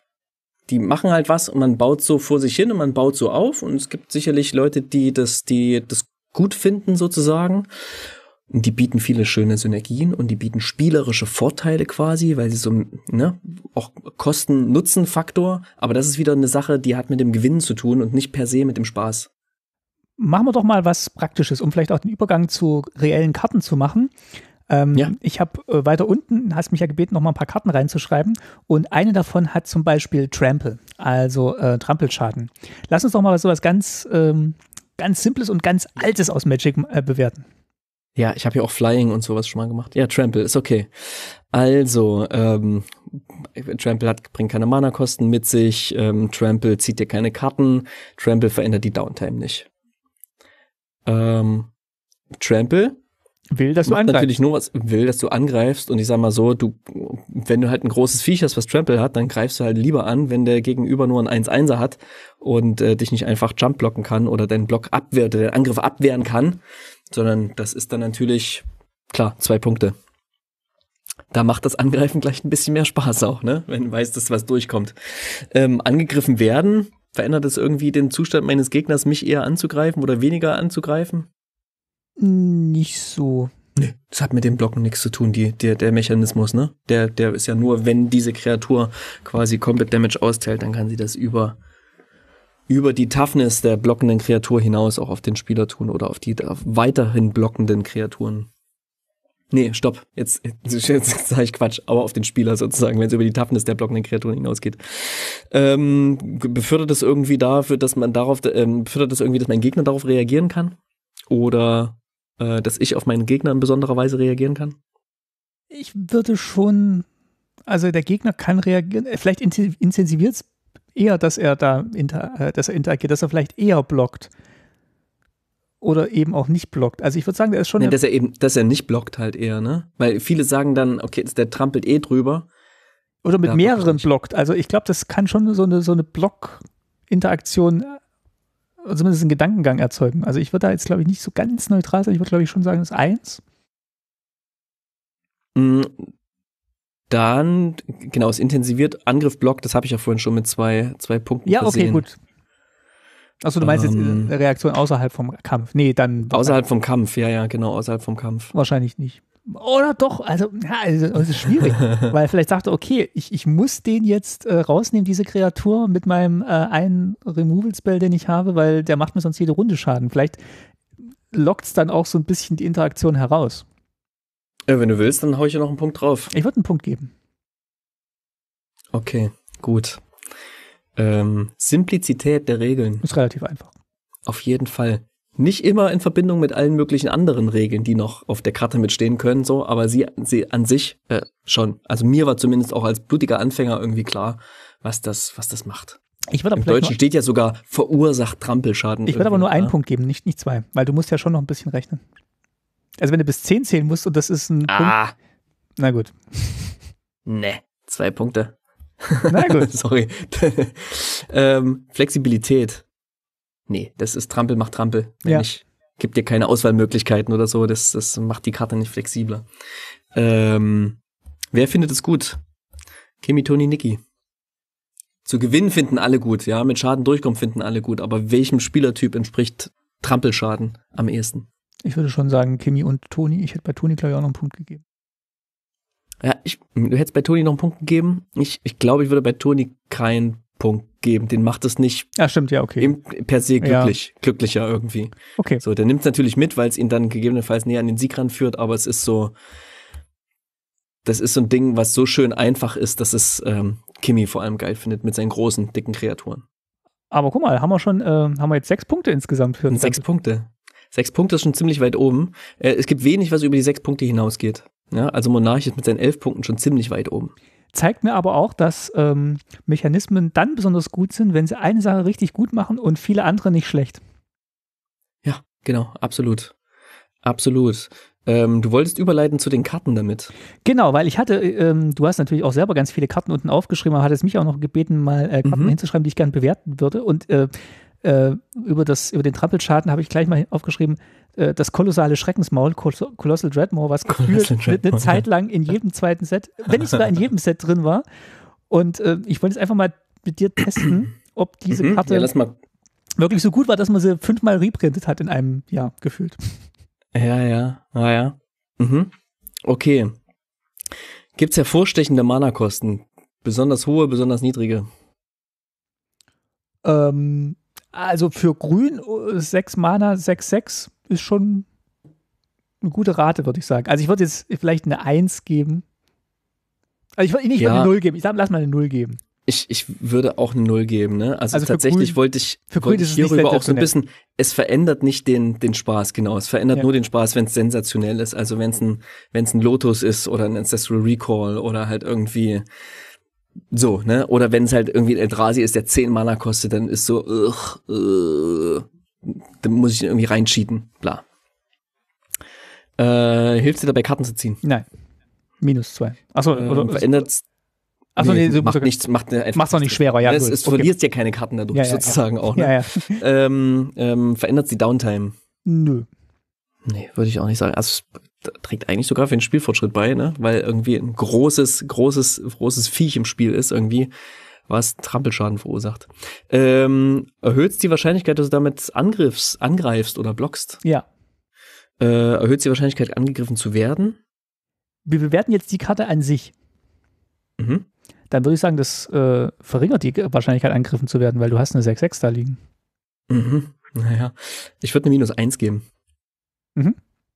Ähm, kann mein Gegner in irgendeiner besonderen Weise darauf reagieren oder, oder ermögt, befähigt es mich, auf meinen Gegner zu reagieren? Nee, nicht außerhalb vom Kampf, würde ich sagen. Ähm, Simplizität. Zwei. Super. Super easy Karte. Deswegen wurde sie auch in wie viel ähm, Sets in Folge Ich gucke das jetzt parallel immer nach. wieder? Ja, Ähm, guck mal, guck mal. Macht es mich flexibler? Es ist flexibel auszuspielen. Kann ich eine schöne Entscheidung treffen oder so, wenn ich sie ausspiele? Eigentlich nicht. Nee. Und wer findet es gut? Kimi, Toni, Niki. Also Gefühlt keiner. Gefühlt findet es niemand gut. doch, alle super. Doch, auf jeden Fall. Äh, Kimi findet es auf jeden Fall gut. Das ist eine ziemliche Baseline-Karte, vier Punkte. Ist äh, insgesamt äh, sechsmal reprintet worden. Mm, Dann würde ich gerne auf eine Karte eingehen, die mich ein bisschen überrascht hat im positiven Sinne. Und zwar, von der hört man immer wieder, ähm, wird immer wieder in Podcasts erwähnt, auch in unserem. Äh, und das ist das Secret Rendezvous. Mhm. Im, Im Deutschen die heimliche Verabredung. Ich Okay. lese mal kurz vor, was die Karte macht. Hätte man vielleicht auch beim Colossal Dreadmore mal kurz machen sollen. Colossal Dreadmore ist eine 6-6 für 4 und äh, zwei Grüne, also 6 Mana. Eine Common und die verursacht Trampelschaden. Hab ich was vergessen? Nee, ist Nee, ne? einfach, ist Und hat einfach, Flavortext. ist einfach eine super Karte, die, die gefühlt für ein ganzes Jahrzehnt steht. Trampelt der Dino, ja. Ähm, so, jetzt, und jetzt die heimliche Verabredung. die heimliche Verabredung. Genau, eine heimliche Verabredung ist eine Hexerei aus Strixhaven, ein Ankommen. Die kostet eins weiß-weiß, also insgesamt drei Mana. Und macht folgendes. Du und ein Gegner deiner Wahl zieht je drei Karten. Du ziehst drei Karten. Und jemand, der mitspielt, zieht drei Karten. Mhm. Das klingt schon mal ganz gut, wenn du an die ganzen Spaßkategorien so äh, denkst. Jetzt gehen wir mal der Reihe nach durch. Hat die irgendeine besondere Mana-Kosten? Spektakuläre, spaßbringende Mana-Kosten? Ich sag erstmal nein. Das spielt keine, ich finde es nicht krass außergewöhnlich hier. Ne? Wenn man so, es ist ein bisschen eine schwierige Kategorie, weil ich eigentlich gar nicht so den, den, den, den, den Spielwert beschreiben möchte, sondern eher machen mir die Mana-Kosten hier in irgendeiner Form besonderen Spaß oder dämpfen sie meinen Spaß. Ich würde schon eine Eins geben, weil guck mal, für ein Mana wären zwei Karten gezogen am Tisch. Okay, okay, wenn man so betrachtet, ja, finde ich interessant, finde ich sehr interessant. Also für, oder für drei Mana wären sechs Karten gezogen. Das ist schon, das ist Gut, schon- okay. schon un ungewöhnlich. Ja, ich respektiere diese Einschätzung. die Maschine sagt eins. Würde ich sagen, ja. Der Affe wackelt so ein bisschen hinten. und- Befähigt mich, die Karte Karten zu ziehen. Auf jeden Fall, zwei. Zwei Punkte. Verändert sie die Downtime am Tisch. Nö, nicht. nicht. Es werden Karten von der Bibliothek runtergenommen. Ja. Ähm, hat die irgendwas Hm. mit Angreifen, Mhm. Kämpfen, irgendwas zu tun? Nee, ne? Spielt keine Rolle. Ähm, kann mein Gegner in irgendeiner Weise drauf, auf besondere Art und Weise reagieren oder befähigt mich, die Karte auf den Gegner zu reagieren? Also Multiplayer können natürlich die Leute dann argumentieren, wen du auswählst als zweiten Spieler. Also es könnte so eine Interaktion herausrufen. Aber der- erstmal. Ne, Die Karte nicht. Das Karte ist so ein bisschen, ne, die Formulierung ist hier ein bisschen schwierig. Die, die Karte sorgt dafür, dass ich mit einem Gegner interagiere. Denn ich muss einen wählen, der auch drei Karten zieht. Ja. Es steht auf der Karte drauf, bitte interagiere jetzt mit einem Gegner und schenke dieser Person drei Karten. Ja, okay. Und dann wird diskutiert, wer es sein darf. Oder es wird gefeilscht. Oder es wird irgendwie alte Schulden beglichen. Oder was auch immer. Finde ich unfassbar gut, denn also ich spiele ja auch lieber ähm, weniger oder betreibe die Politik am Tisch weniger durch Drohgebärden als vielmehr durch ähm, Geschenke. Zu verlieren. Da gibt's ja, gibt's ja unterschiedliche Spielertypen. Gibt's ja, Ja. unterschiedliche Ja. Spielertypen, ne? Ähm, ähm, Simplizität der Karte. Relativ einfach. Es ist super einfach. Ich meine, es hat anderthalb Zeilen Text. Zwei Leute ziehen drei Karten. So, einer davon bist du. äh, Flexibilität. Ja. Multiplayer in Mind, ne? Wir haben die Flexibilität, wenn man zu zweit spielt, ist nicht so groß, nicht so viel Flexibilität da, aber wir denken ja so ein bisschen an Multiplayer, auch an Commander und da gibt es natürlich viele Möglichkeiten, jemanden zu beschenken. Vielleicht eine Eins dann doch, weil Hexerei. Okay, gut, ja, ich mache eins. Schade. Das war gerade ein sehr hoher Zahlenwert schon. Ja, ja, aber ist immer noch sehr gut. Ähm, Spielerinnen-Typen Bodus. Wem macht das Ding Spaß? Kimi, würde ich sagen, findet, sieht den Vorteil nicht so richtig darin. Denkt so, ah, wenn ich drei Karten ziehe und mein Gegner, dann hat ja niemand was gewonnen. Mm, So. Und macht mich eher angreifbar, weil der jetzt wieder mehr Mittel hat, um meine Ja. schöne. Ja, genau. Ich will nicht, dass er drei. Karten zieht, so, ne? So ging es Ja. mir am Anfang. Ich wollte meinem Gegner nix, nix gönnen, weil ich einfach nur so. Aber wenn man halt vier am Tisch ist und das halt auch checkt, dann denk, weiß man halt, ja, man muss sich vielleicht eh ein bisschen verbünden und eine Weile Hm. im Team spielen. Deswegen würde ich sagen, Toni vergibt dir auf jeden Fall einen Punkt. Immer noch ein sehr guter Wert. Immer noch ein sehr guter Wert. Und Niki, vergibt der noch einen Punkt? Da war ich mir nicht ganz sicher. Ich Da war ich mir nicht ganz sicher. Also der, Niki, Niki kriegt generell wenig Punkte, habe ich jetzt so festgestellt. Niki ist so ein bisschen. Ja, äh, also viel mit Schadenfreude hat es nicht zu tun. Doch ne? Schon. Schon sehr, Doch schon. Schon auch, ja? ich würde sagen, du Komm, wir kannst, geben noch einen Punkt. du wir kannst ja sagen, hier, äh, ich lass mal den eine Karte ziehen und dafür du nicht, weil du hast mich letzte Runde angegriffen. Also du kannst dann schon so ein bisschen sticheln. Bam, neun Punkte. Das ist ein guter Wert. Das ist eine Karte, die evident sehr viel Spaß macht. Die keiner Maschine auf sagt Schirm hat. neun. Ich würde schon sagen, dass die ein paar Leute auf dem Schirm haben, aber zu wenige wollen die spielen, weil sie, weiß ich nicht, alles Kimmis sind. ich habe keine Ahnung. Du Nee, Kimi, du. Ich habe mir die Karte auch geholt und ich müsste mir die eigentlich viel häufiger holen, aber es ist halt auch eine Karte, die hat zwei weiße Mana-Symbole in den Kosten und ähm, weiß wird ein bisschen weniger gespielt. Vor allem im Commander ein bisschen weniger gespielt. Und ähm, genau, die würde ich vielleicht noch im zweifarbigen Deck spielen, aber ich glaube in einem dreifarbigen Deck weniger. Wenn weiß nicht die primäre Farbe ist. Dann lass uns doch mal eine andere Karte nehmen, die ich jetzt äh, gerade bei Limited Resources gehört habe, die gar nicht so gut sein soll. Aus dem aktuellen Ja, Set. schieß mal los. Nicht so gut im spielerischen Sinne, weil die sind natürlich die Profis im Sinne von, was man spielen sollte, um zu gewinnen. Genau. Das Katana der Ahnen. Äh, eins und ein weißes Artefakt-Ausrüstung. Immer wenn ein Samurai oder ein Krieger, den du kontrollierst, alleine angreift, kannst du eins bezahlen. Wenn du dies tust, lege das Katana der Ahnen an ihn an und die ausgerüstete Kreatur erhält plus zwei plus eins. Ausrüsten kostet drei. Okay. Okay.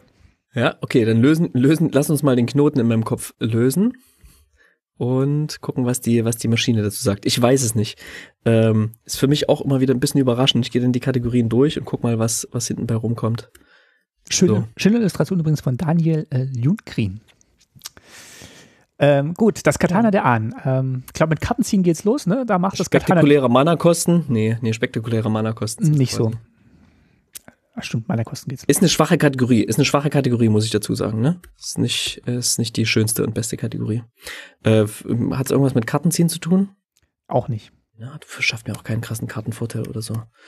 Ähm, verändert das die Downtime? Immer wenn ein Samurai, ein Krieger, den du kontrollierst, alleine angreift, Ja, ich würde sagen, ein bisschen verringert. bezahlen. Du musst dann überlegen, Wenn bezahle ich die eins, so, lege ich es an, da muss ich nur rechnen, wie groß ist jetzt die Kra- Kraft und Stärke.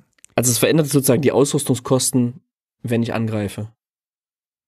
Ja, Also ich du, greife an und dann ist mir die, Aus, die sind die Ausrüstungskosten nicht mehr drei, sondern eins und Ja. es muss in dem Moment dann entschieden werden, ne? ja, und du musst halt dann genau beim Angriff entscheiden, lege ich es jetzt an und ähm, oder spare ich das Mana. Also da ist schon eine kleine Downtime. Da gibt's ja minus eins. Incentiviert es mich anzugreifen? Würde ich sagen, ja. Auf jeden Fall, na klar. Das Zwei. steht ja auf, das ist ja das, das hauptsächliche Ding, was auf dieser Karte draufsteht, ne? Ähm, Genau, es vergibt dann plus zwei plus eins. Erhöht das irgendwie die Wahrscheinlichkeit, dass ich angegriffen werde? Oder verringert es die Wahrscheinlichkeit? Eigentlich nicht, weil du greifst ja nur mit einer Kreatur an, also von daher würde ich sagen. Weil meine Kreatur ja immer noch getappt ist. Ich würde sagen, es verringert sogar die, es verringert sogar die Wahrscheinlichkeit, dass du angegriffen wirst. Hm, weiß ich gar nicht. Vergibt plus zwei plus eins. Das heißt, ich habe eigentlich mehr, mehr. Nee, weil du nur mit einer Kreatur angreifst, würde ich sagen, verringert's. Also wenn du drei Kreaturen hast, verringert Ach, diese. Der muss ja alleine angreifen. Verringert diese Karte, dass du ähm, die Wahrscheinlichkeit, dass du angegriffen wirst. Also schützt. Weil die anderen Kreaturen warten müssen. Ja, genau. Oh, minus eins, okay. Ach so, das habe ich übrigens eins? total, total überlesen. Nee, es verringert die Wahrscheinlichkeit, dass ich angegriffen Achso, weil es Interaktivität Hast ist. gesagt. Ja. Genau. Ja, okay. Hm. Ähm, kann mein Gegner darauf reagieren? Oder erhöht es die Wahrscheinlichkeit, dass er darauf reagiert? ja, schon. Er kann ähm, die Kreatur zerstören, an die du es anlegen wolltest, würde ich sagen. Weil er nicht will, dass du plus zwei plus eins Mhm. mit ja, kriegst oder so. Also es würde, Mhm. Okay. Okay, okay. okay. sag mal, du greifst mit einem mit 1-1-Token an und sagst, ich lege jetzt Das Ding ist an. bei ausgerüsteten Kreaturen wahrscheinlich per se sogar ein bisschen Ja. ein Nachteil, ne? dass man die dann einfach wegsmasht und dann, genau, verlieren sie halt das Equipment. Ist bei Auren wahrscheinlich noch mehr der Fall, Ja. weil die ja dann gleich mit weggehen. Ähm, ab, äh, reagiere ich auf meinen Gegner in irgendeiner speziellen Weise? Nee. Mhm. Ist es einfach? Mhm. Nein. Geht Ich so. muss gerade dreimal lesen Ja. und ich habe zum Beispiel überlesen, dass es wichtig ist, dass der Samurai oder der Krieger alleine angreift. Ja. Äh, das heißt, ich würde hier mal, also es ist nicht unfassbar schwer, aber ich würde hier mal eine Minus eins geben. Ja. Wie flexibel ist das Ganze? Auch schon.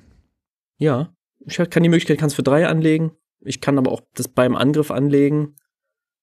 Ich habe eine Entscheidungsmöglichkeit, ja. Ich würde Ja. hier eine Eins geben. Ja. Kein, kein klares, ja, super flexibel, weil am Ende wird das Ding angelegt oder nicht angelegt. So, mehr macht's dann doch nicht. Gibt plus zwei, plus eins und ist, ähm, genau.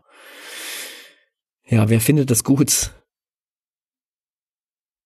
Toni findet es gut, wenn's, wenn er es gut findet. Kimi findet es auch gut. Macht die Kreatur größer. Macht eine Kreatur Ist größer. aber kein einfacher Text. Aber die Karte an sich, Ja. nee, genau. Wird davon, glaube ich, abgeschreckt. Also, Okay. Equipments an sich findet Ki äh, äh, Kimi schon ganz gut. Aber ich glaube, dieses Equipment vielleicht nicht per se. Okay. Also eine sehr durchwachsene Karte dann am Schluss, weil wenn du da jetzt eine 1 gibst bei Toni, ist es genau auf 0, ne? Nee, ist bei 1 gerade. Achso, du hast gar keinen Spielertyp jetzt. Kein Spielertyp findet die gut. Ich habe gerade keinem Spielertypen einen Punkt zugewiesen, weil es Okay. keine so richtig spannend finden. Na gut, lass mal überlegen. Im Limited findet es da irgendjemand spannend? Na, laut Limited Resources Tja. nicht. Nee. Ja. Ja. Also, ist auch tatsächlich vom Spaß. Ich bin auch, ich würde jetzt auch nirgendwo klar Ja sagen und von daher würde ich das dann schon mal als Nein gelten lassen. ähm, wir sind bei einer Eins. Das Ding macht keinen Spaß. Das ist unterdurchschnittlich. Ich guck mal, ich guck mal kurz, was der Mittelwert bei den Karten ist mittlerweile äh, ähm, aktuell, die ich hier habe. Da gibt's vielleicht einen anderen Mittelwert als bei den Mechanismen. Aber da habe ich auch noch nicht so viele. Da ist bei 3,9, also auch bei 4 ungefähr. Ich habe mal noch so ein paar Sachen, ein paar Klassiker geguckt, ne? Soul Ring sagen alle mal, es macht es lang, es gibt langweilige Spiele, wenn's wenn Soul Ring im Spiel ist. Mhm. Ähm, ist natürlich keine Aussage darüber, wie viel Spaß es macht, Soul Ring zu spielen, ja? Also wenn es wenn ich sage, ja, das sorgt immer wieder für die gleichen Deckbau und so, das hat nichts mit damit zu tun, wie viel Spaß es macht, diese Karte auszuspielen. Spektakulärer Mana-Kosten. Ja, würde ich zwei Punkte vergeben. Mhm. Also zum einen kostet es sehr wenig für einen großen Effekt, den es macht, und es macht auch noch einen positiven Mana-Effekt. So, also zwei Punkte.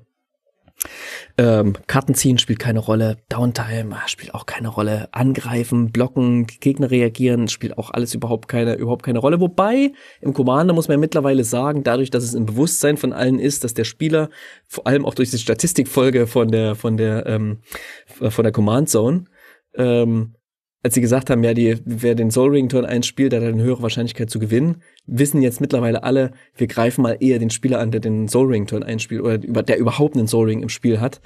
Ähm, genau, deswegen könnte man hier fast sogar sagen, okay, wenn ich einen Soul Ring spiele, dann sorgt das dafür, dann incentiviert mehr es meine in- das MitspielerInnen, Ja. dass mehr interagiert wird so mit mir. Ähm, dafür gebe ich mal einen Punkt. Das mache ich jetzt einfach mal. Die Einfachheit der Regeln, absolut. Klar. Simpler, simpler geht's quasi gar nicht. Ich bezahle eins, kommt ein Artefakt ins Spiel, ich kann es tappen für zwei. Wie flexibel ist das Ganze? Kein Punkt. gibt einfach nur diese eine Art und Weise, das zu spielen. Wer findet das gut? Kimi, Toni, Niki. Finden es alle gut? Findet es niemand gut? Schon so ein bisschen finden alle gut, oder? Können sie alle das, Das Niki mehr machen? gut, weil die Karte unfair ist. Kimi findet es gut, weil es halt viel Mana gibt. Vielleicht findet es Toni nicht so gut. Vielleicht langweilt das Toni. Ich würde sagen, Toni ist gelangweilt Gut, von der Karte. du kennst Solo. ihn besser. Ich würde sie. sagen, das ist so, lieb, lieben Gruß raus an Axel.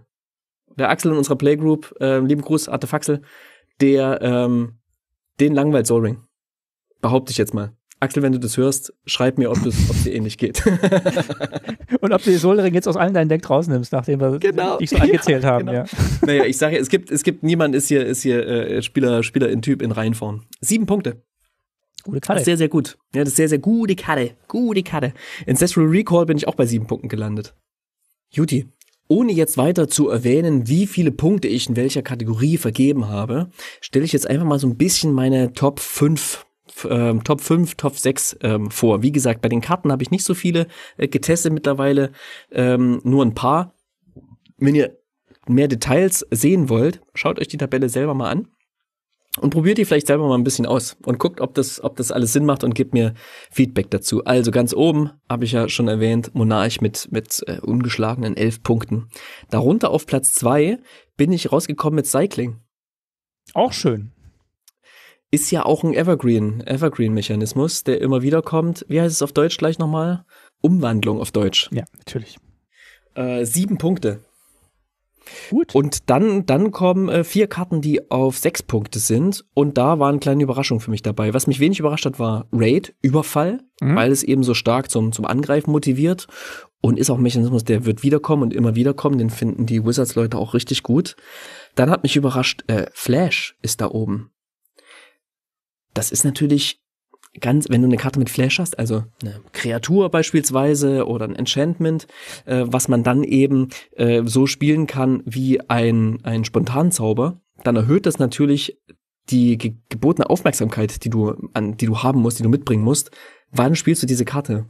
Wann hältst du die zurück? Wann interagierst du wie mit dem? Ähm, äh, wann bringst du die ins Spiel, um mit dem Gegner eben zu interagieren? Also das ist ähm, ja deutlich interaktiver als eine Karte ohne Flash.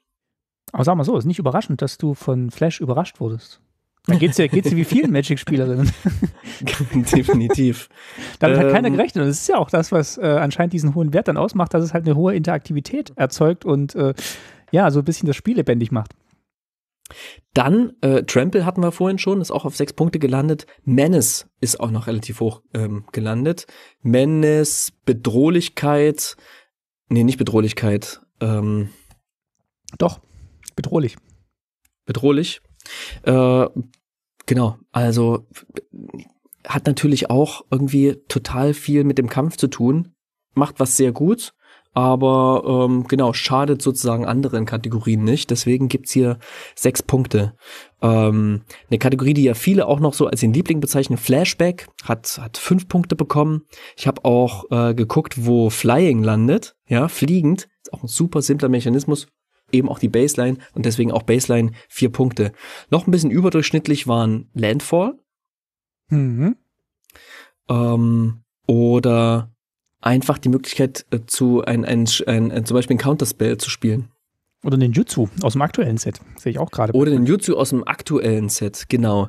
Ist halt nicht so richtig der einfachste Mechanismus, aber ähm, genau, ähm, incentiviert mich einfach anzugreifen. Ich muss gucken, wann ich das wie mache. Ich muss gucken, wie reagiert mein Gegner. Ich muss dann entsprechend darauf reagieren oder vielleicht sogar ähm, im ganz ähm, menschlichen Sinn, sozusagen beim, beim, bei der Interaktion am Tisch gesprochen, ich muss irgendwie ein bisschen bluffen. Ich greife hier an und so, da kommt schon kein Ninjutsu. Oder ich muss eben mit vielen angreifen, dass auf jeden Fall ähm, eine Kreatur durchkommt quasi, um dann eben den Jutsu spielen zu können die ist nicht die einfach, der ist nicht der einfachste Mechanismus, deswegen gibt's da, deswegen gibt's da Abstriche. Aber ich habe eben eine gewisse Flexibilität, deswegen komme ich bei fünf Punkten raus. Wenn man durchgeht, vielleicht rankt das sogar noch ein bisschen, noch ein bisschen höher, wer weiß. Also nichts ist hier in Stein gemeißelt, aber es gibt einem schon mal eine ganz gute, eine ganz gute Richtung vor. Unterdurchschnittlich ähm, waren, damit wollte ich es natürlich auch testen, äh, Annihilator. ja, kennt ihr, haben diese riesen Eldrasis, ich greife jemanden an und äh, im Angriff quasi so auf den Angriff-Trigger muss mein Gegner schon äh, x Karten opfern. Das erhöht die Downtime ungemein, ja, es wird einfach langsamer, Spiel ist eben nicht sofort dabei, vorbei, es verlangsamt das Spiel für einen Spieler extrem. Und äh, gefühlt ist der raus, aber er muss noch eine Weile leiden das macht es so schrecklich. Eigentlich hätte ich hier fast minus drei Punkte gegeben in der Kategorie. Ähm, aber ich, ich muss natürlich auch angreifen. Ne? Ich muss damit, ich muss angreifen, um das irgendwie auszulösen. Also es hat auch seine Vorteile und es bringt auch irgendwie so, bringt auch irgendwie so ein, ja, Bonuspunkte mit sich. Ähm, Hexproof und Ward schneiden beide auch ziemlich schlecht ab mit jeweils einem Punkt, weil es eben die Interaktivität, die Interaktion der SpielerInnen rausnimmt. Ne?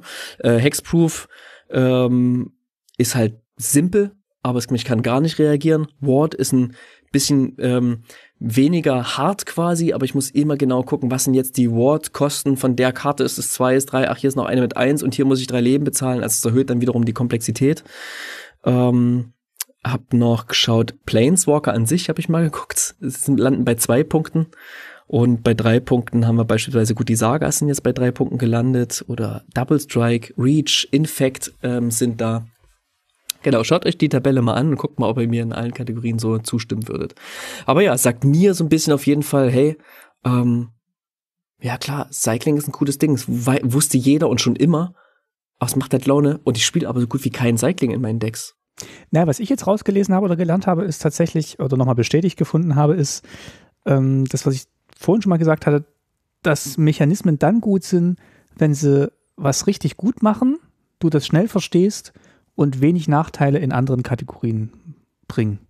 Mhm. Das heißt, sowas wie wir jetzt hatten mit den, äh, also diese, diese Peak doppelseitige Kartengeschichte, die wir, die wir letztes Jahr hatten mit mhm. Kaltheim, wo mhm. du dann erstmal da sitzt und ganz viel Text lesen musst, ist, ist zwar spannend, ist wahrscheinlich auch sehr strategisch und sehr, ähm, sehr verkopft auch ein bisschen, aber es macht halt es macht halt weniger Leuten Spaß, als jetzt einfach mit großen Kreaturen irgendwo drüber zu trampeln.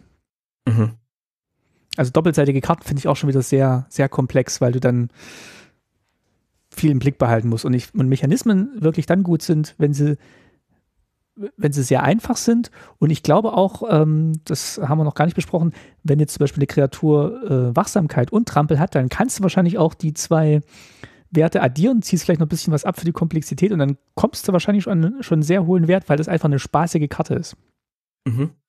Ja, also ich habe auf jeden Fall Bock, das noch mehr auszuprobieren und für mich ist es halt irgendwie ist hier der Weg das Ziel. Ne? Also es geht gar nicht so zwingend darum, also ich finde es auch schön festzustellen, ähm, einen gewissen, einen schöneren Blick hier zu haben für bestimmte Mechanismen oder Karten, die ich gar nicht so auf dem, auf dem Schirm habe oder jetzt zu sehen, wie, wie krass gut äh, irgendwie Secret Rendezvous äh, beispielsweise abschneidet oder, oder Flash ähm, und darauf ein bisschen mehr zu achten, aber es ist vor allem zu schauen, die Karten genau anzuschauen und einfach mal wirklich feindlich anzugucken, was macht die Karte überhaupt macht die viel, macht die wenig ähm, und es und und die große Erkenntnis ist, eigentlich sollte jedes Spiel mit mit Monarch irgendwie stattfinden.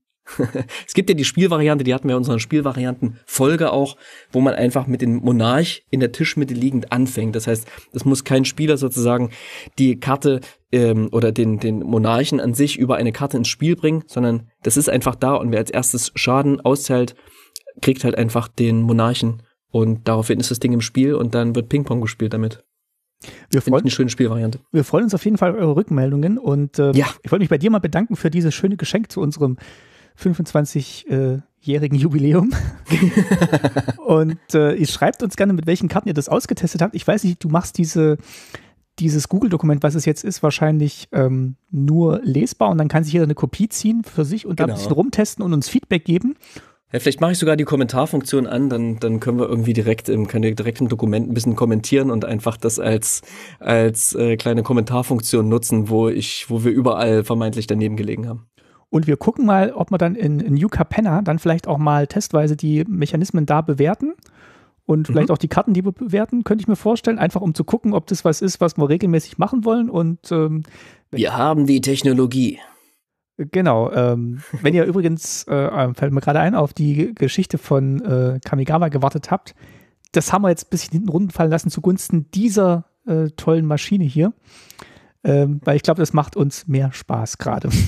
Hey, ich hoffe inständig, dass ich niemanden damit gelangweilt habe. Ich weiß, das ist ganz schön, dass man da ganz schön sich den Kopf zerbrechen kann, aber das ist, finde ich, auch der Spaß von Magic, dass man ja, Ah, ich hatte, man, dass man hatte, einfach so nie, für nichts mehr anderes Hirnkapazitäten hat, sondern halt voll von diesem Spiel verschlungen wird. also ich war jetzt wirklich, also die Zeit ging jetzt echt ruckzuck rum und ich fand es jetzt auch wirklich sehr spannend, hier nochmal äh, Karten zu bewerten und drüber zu diskutieren. Ich glaube, diese Diskussion macht es Ja. dann auch nochmal richtig spannend und zu sagen, ah, okay, Definitiv. war, wie, wie siehst du das? Und dieser Aha-Effekt, den du jetzt zum Beispiel auch gerade hattest, wo wir drüber gesprochen haben mit, ah ja, klar, da ähm, schütze ich mich ja, weil ich ja nur mit einer Kreatur angreifen muss. Das ist, Mhm. glaube ich, auch für einen selber dann nochmal, also Mhm. nicht, dass ich dir jetzt hier so eine Lehrstunde gegeben hätte, aber dass für einen selber dann auch nochmal klar wird, ah, okay, In keinster Weise. Das macht, die, das macht die Karte und deswegen macht's es für mich spaßig. das ist ja einer der, der, der Grund, des Grundspaßes in Magic, immer wieder Karten neu zu evaluieren. Ähm, und mit diesen Worten als kleine Überleitung würde ich gerne in die Nachspeise gehen, denn Oh, da würde ja. ich kurz über das Format Pauper sprechen. Machen wir das. Hm, was Zur Nachspeise gibt's einen Chocolate Covered Broccoli. Was? Uh. Dazu möchte ich nicht mehr sagen, googelt's einfach mal.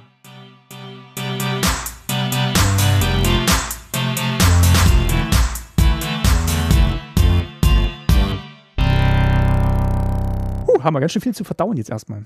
Ich erkläre es ganz kurz. Der Chocolate Covered Broccoli ist ein, ist ein, ein Sinnbild aus dem Game Design und beschreibt eigentlich ein bisschen schiefgegangenes äh, Game Design. Ich habe den gesunden Brokkoli, beispielsweise ein Lerninhalt. Ich möchte ein Spiel machen, wo die, wo die Kinder einen gewissen Lerninhalt bekommen, ja.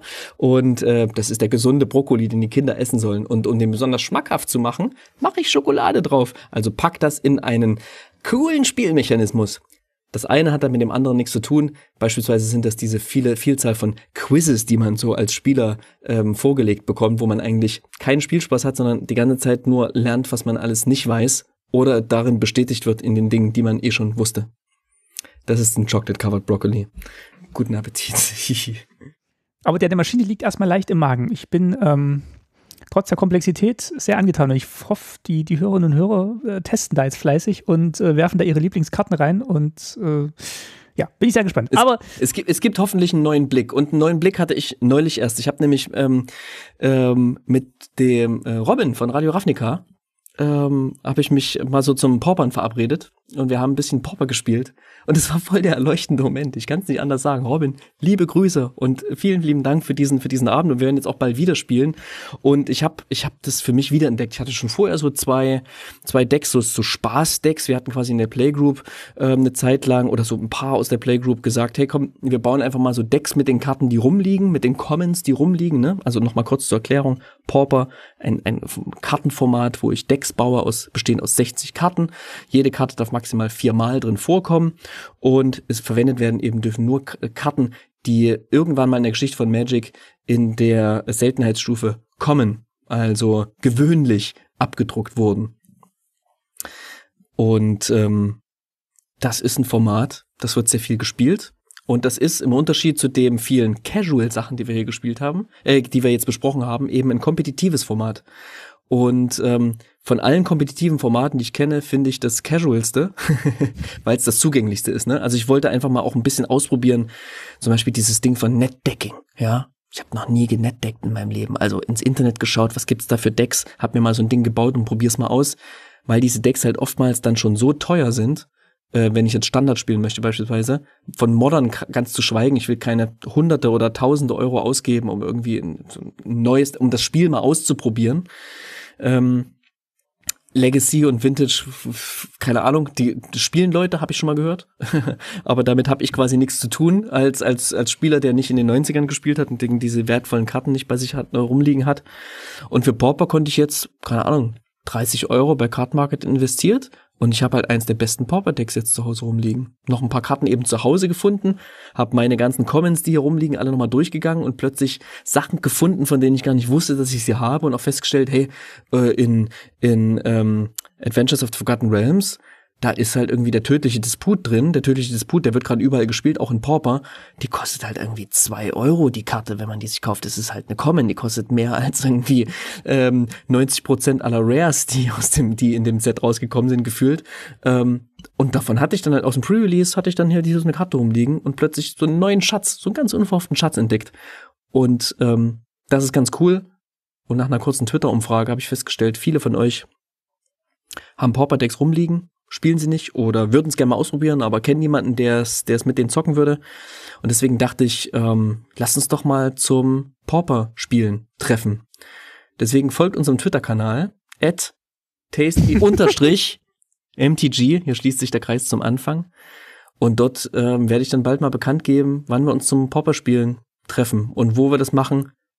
Natürlich digital und über Spelltable, denn das ist ja das Problem. In der physischen Umgebung finden sich nicht genug Leute, aber ja, Spelltable macht es möglich, dass wir eben über die Welt hinweg verstreut gemeinsam paupern können und mal ausprobieren können, wie es funktioniert. Genau, da ganz wo ihr Casual sitzt, in der, in der weiten Welt. Genau, wir können natürlich ganz Casual Decks ausprobieren, die einfach aus den herumliegenden Karten entstanden sind. Oder halt tatsächlich auch, und da habe ich Lust drauf, einfach mal die kompetitiven Decks, von denen ich jetzt eben auch eins habe, wo ich irgendwie auch so ein bisschen stolz bin, so, so ein Ding bei mir rumliegen zu haben. Genau, behaltet unseren Twitter-Kanal im Auge und folgt uns äh, gerne, wenn ihr es noch nicht tut und schreibt uns auch gerne da eure Kommentare zur Maschine, wenn euch das Google-Dokument erstmal abschreckt. Wie fandet ihr die Folge? Hat es euch gefallen? Ähm, ähm, wir haben mal was äh, probiert und ich danke dir nochmal ganz herzlich, Geist, dass du ähm, ja sowas Tolles vorbereitet hast für ich hoffe, diese ich Folge. Ich dich nicht totgequasselt. Nein, ey, ich fand es äh, jetzt im Reden noch, noch viel spannender als die erste Idee, als du es mir gepitcht hast. Also wunder, wunderbar. Ähm, Freue ich mich. Richtig, schön. richtig schön. Und ähm, ja, dann bedanke ich mich jetzt erstmal bei dir und bei euch für ja, fürs Zuhören, bei euch natürlich, fürs Zuhören für 25 Folgen und während 25 ja. Folgen ganz, ganz toll. Ja, es sind ja echt schon ein paar von der ersten Folge dabei. Und ähm, ein paar, die ganz neu erst dazugekommen sind, was irgendwie super, super cool ist. Äh, wir kriegen immer wieder Face Feedback bei, bei Twitter und es macht uns Spaß und es motiviert uns dazu, weiterzumachen. Und zum Abschluss habe ich noch einen kleinen, kleinen Mini, Mini-Gimmick, den wir zur 25. Folge mal raushauen können. Mhm. Ähm, ihr kennt ja unseren Intro-Track. Das ist ein vollständiger Track, von dem wir euch immer nur so ein paar kleine Schnipsel vorspielen. Und zum Abschluss spielen wir euch den einmal komplett vor. Den hast du auch gemacht, ne? Den habe ich auch gemacht, genau. Ja, äh, ein Original für euch jetzt zum, äh, zum Mitschneiden. Das war ein Track, wo eigentlich mal irgendwann, irgendwann, irgendjemand mal einen Text dazu schreiben sollte und vielleicht mal irgendwie ähm, verbal, akustisch damit interagieren sollte. Dazu ist es nie gekommen, deswegen ist es ein Instrumental geblieben und quasi das Intro von Tasty geworden. Wenn ihr euch berufen fühlt, dazu einen coolen Magic-Text dazu zu schreiben, meldet euch, dann machen wir was. Okay, dann äh, sind, sind wir jetzt ruhig und wir spielen jetzt den Track. Viel Spaß. Tschüss und bis bald.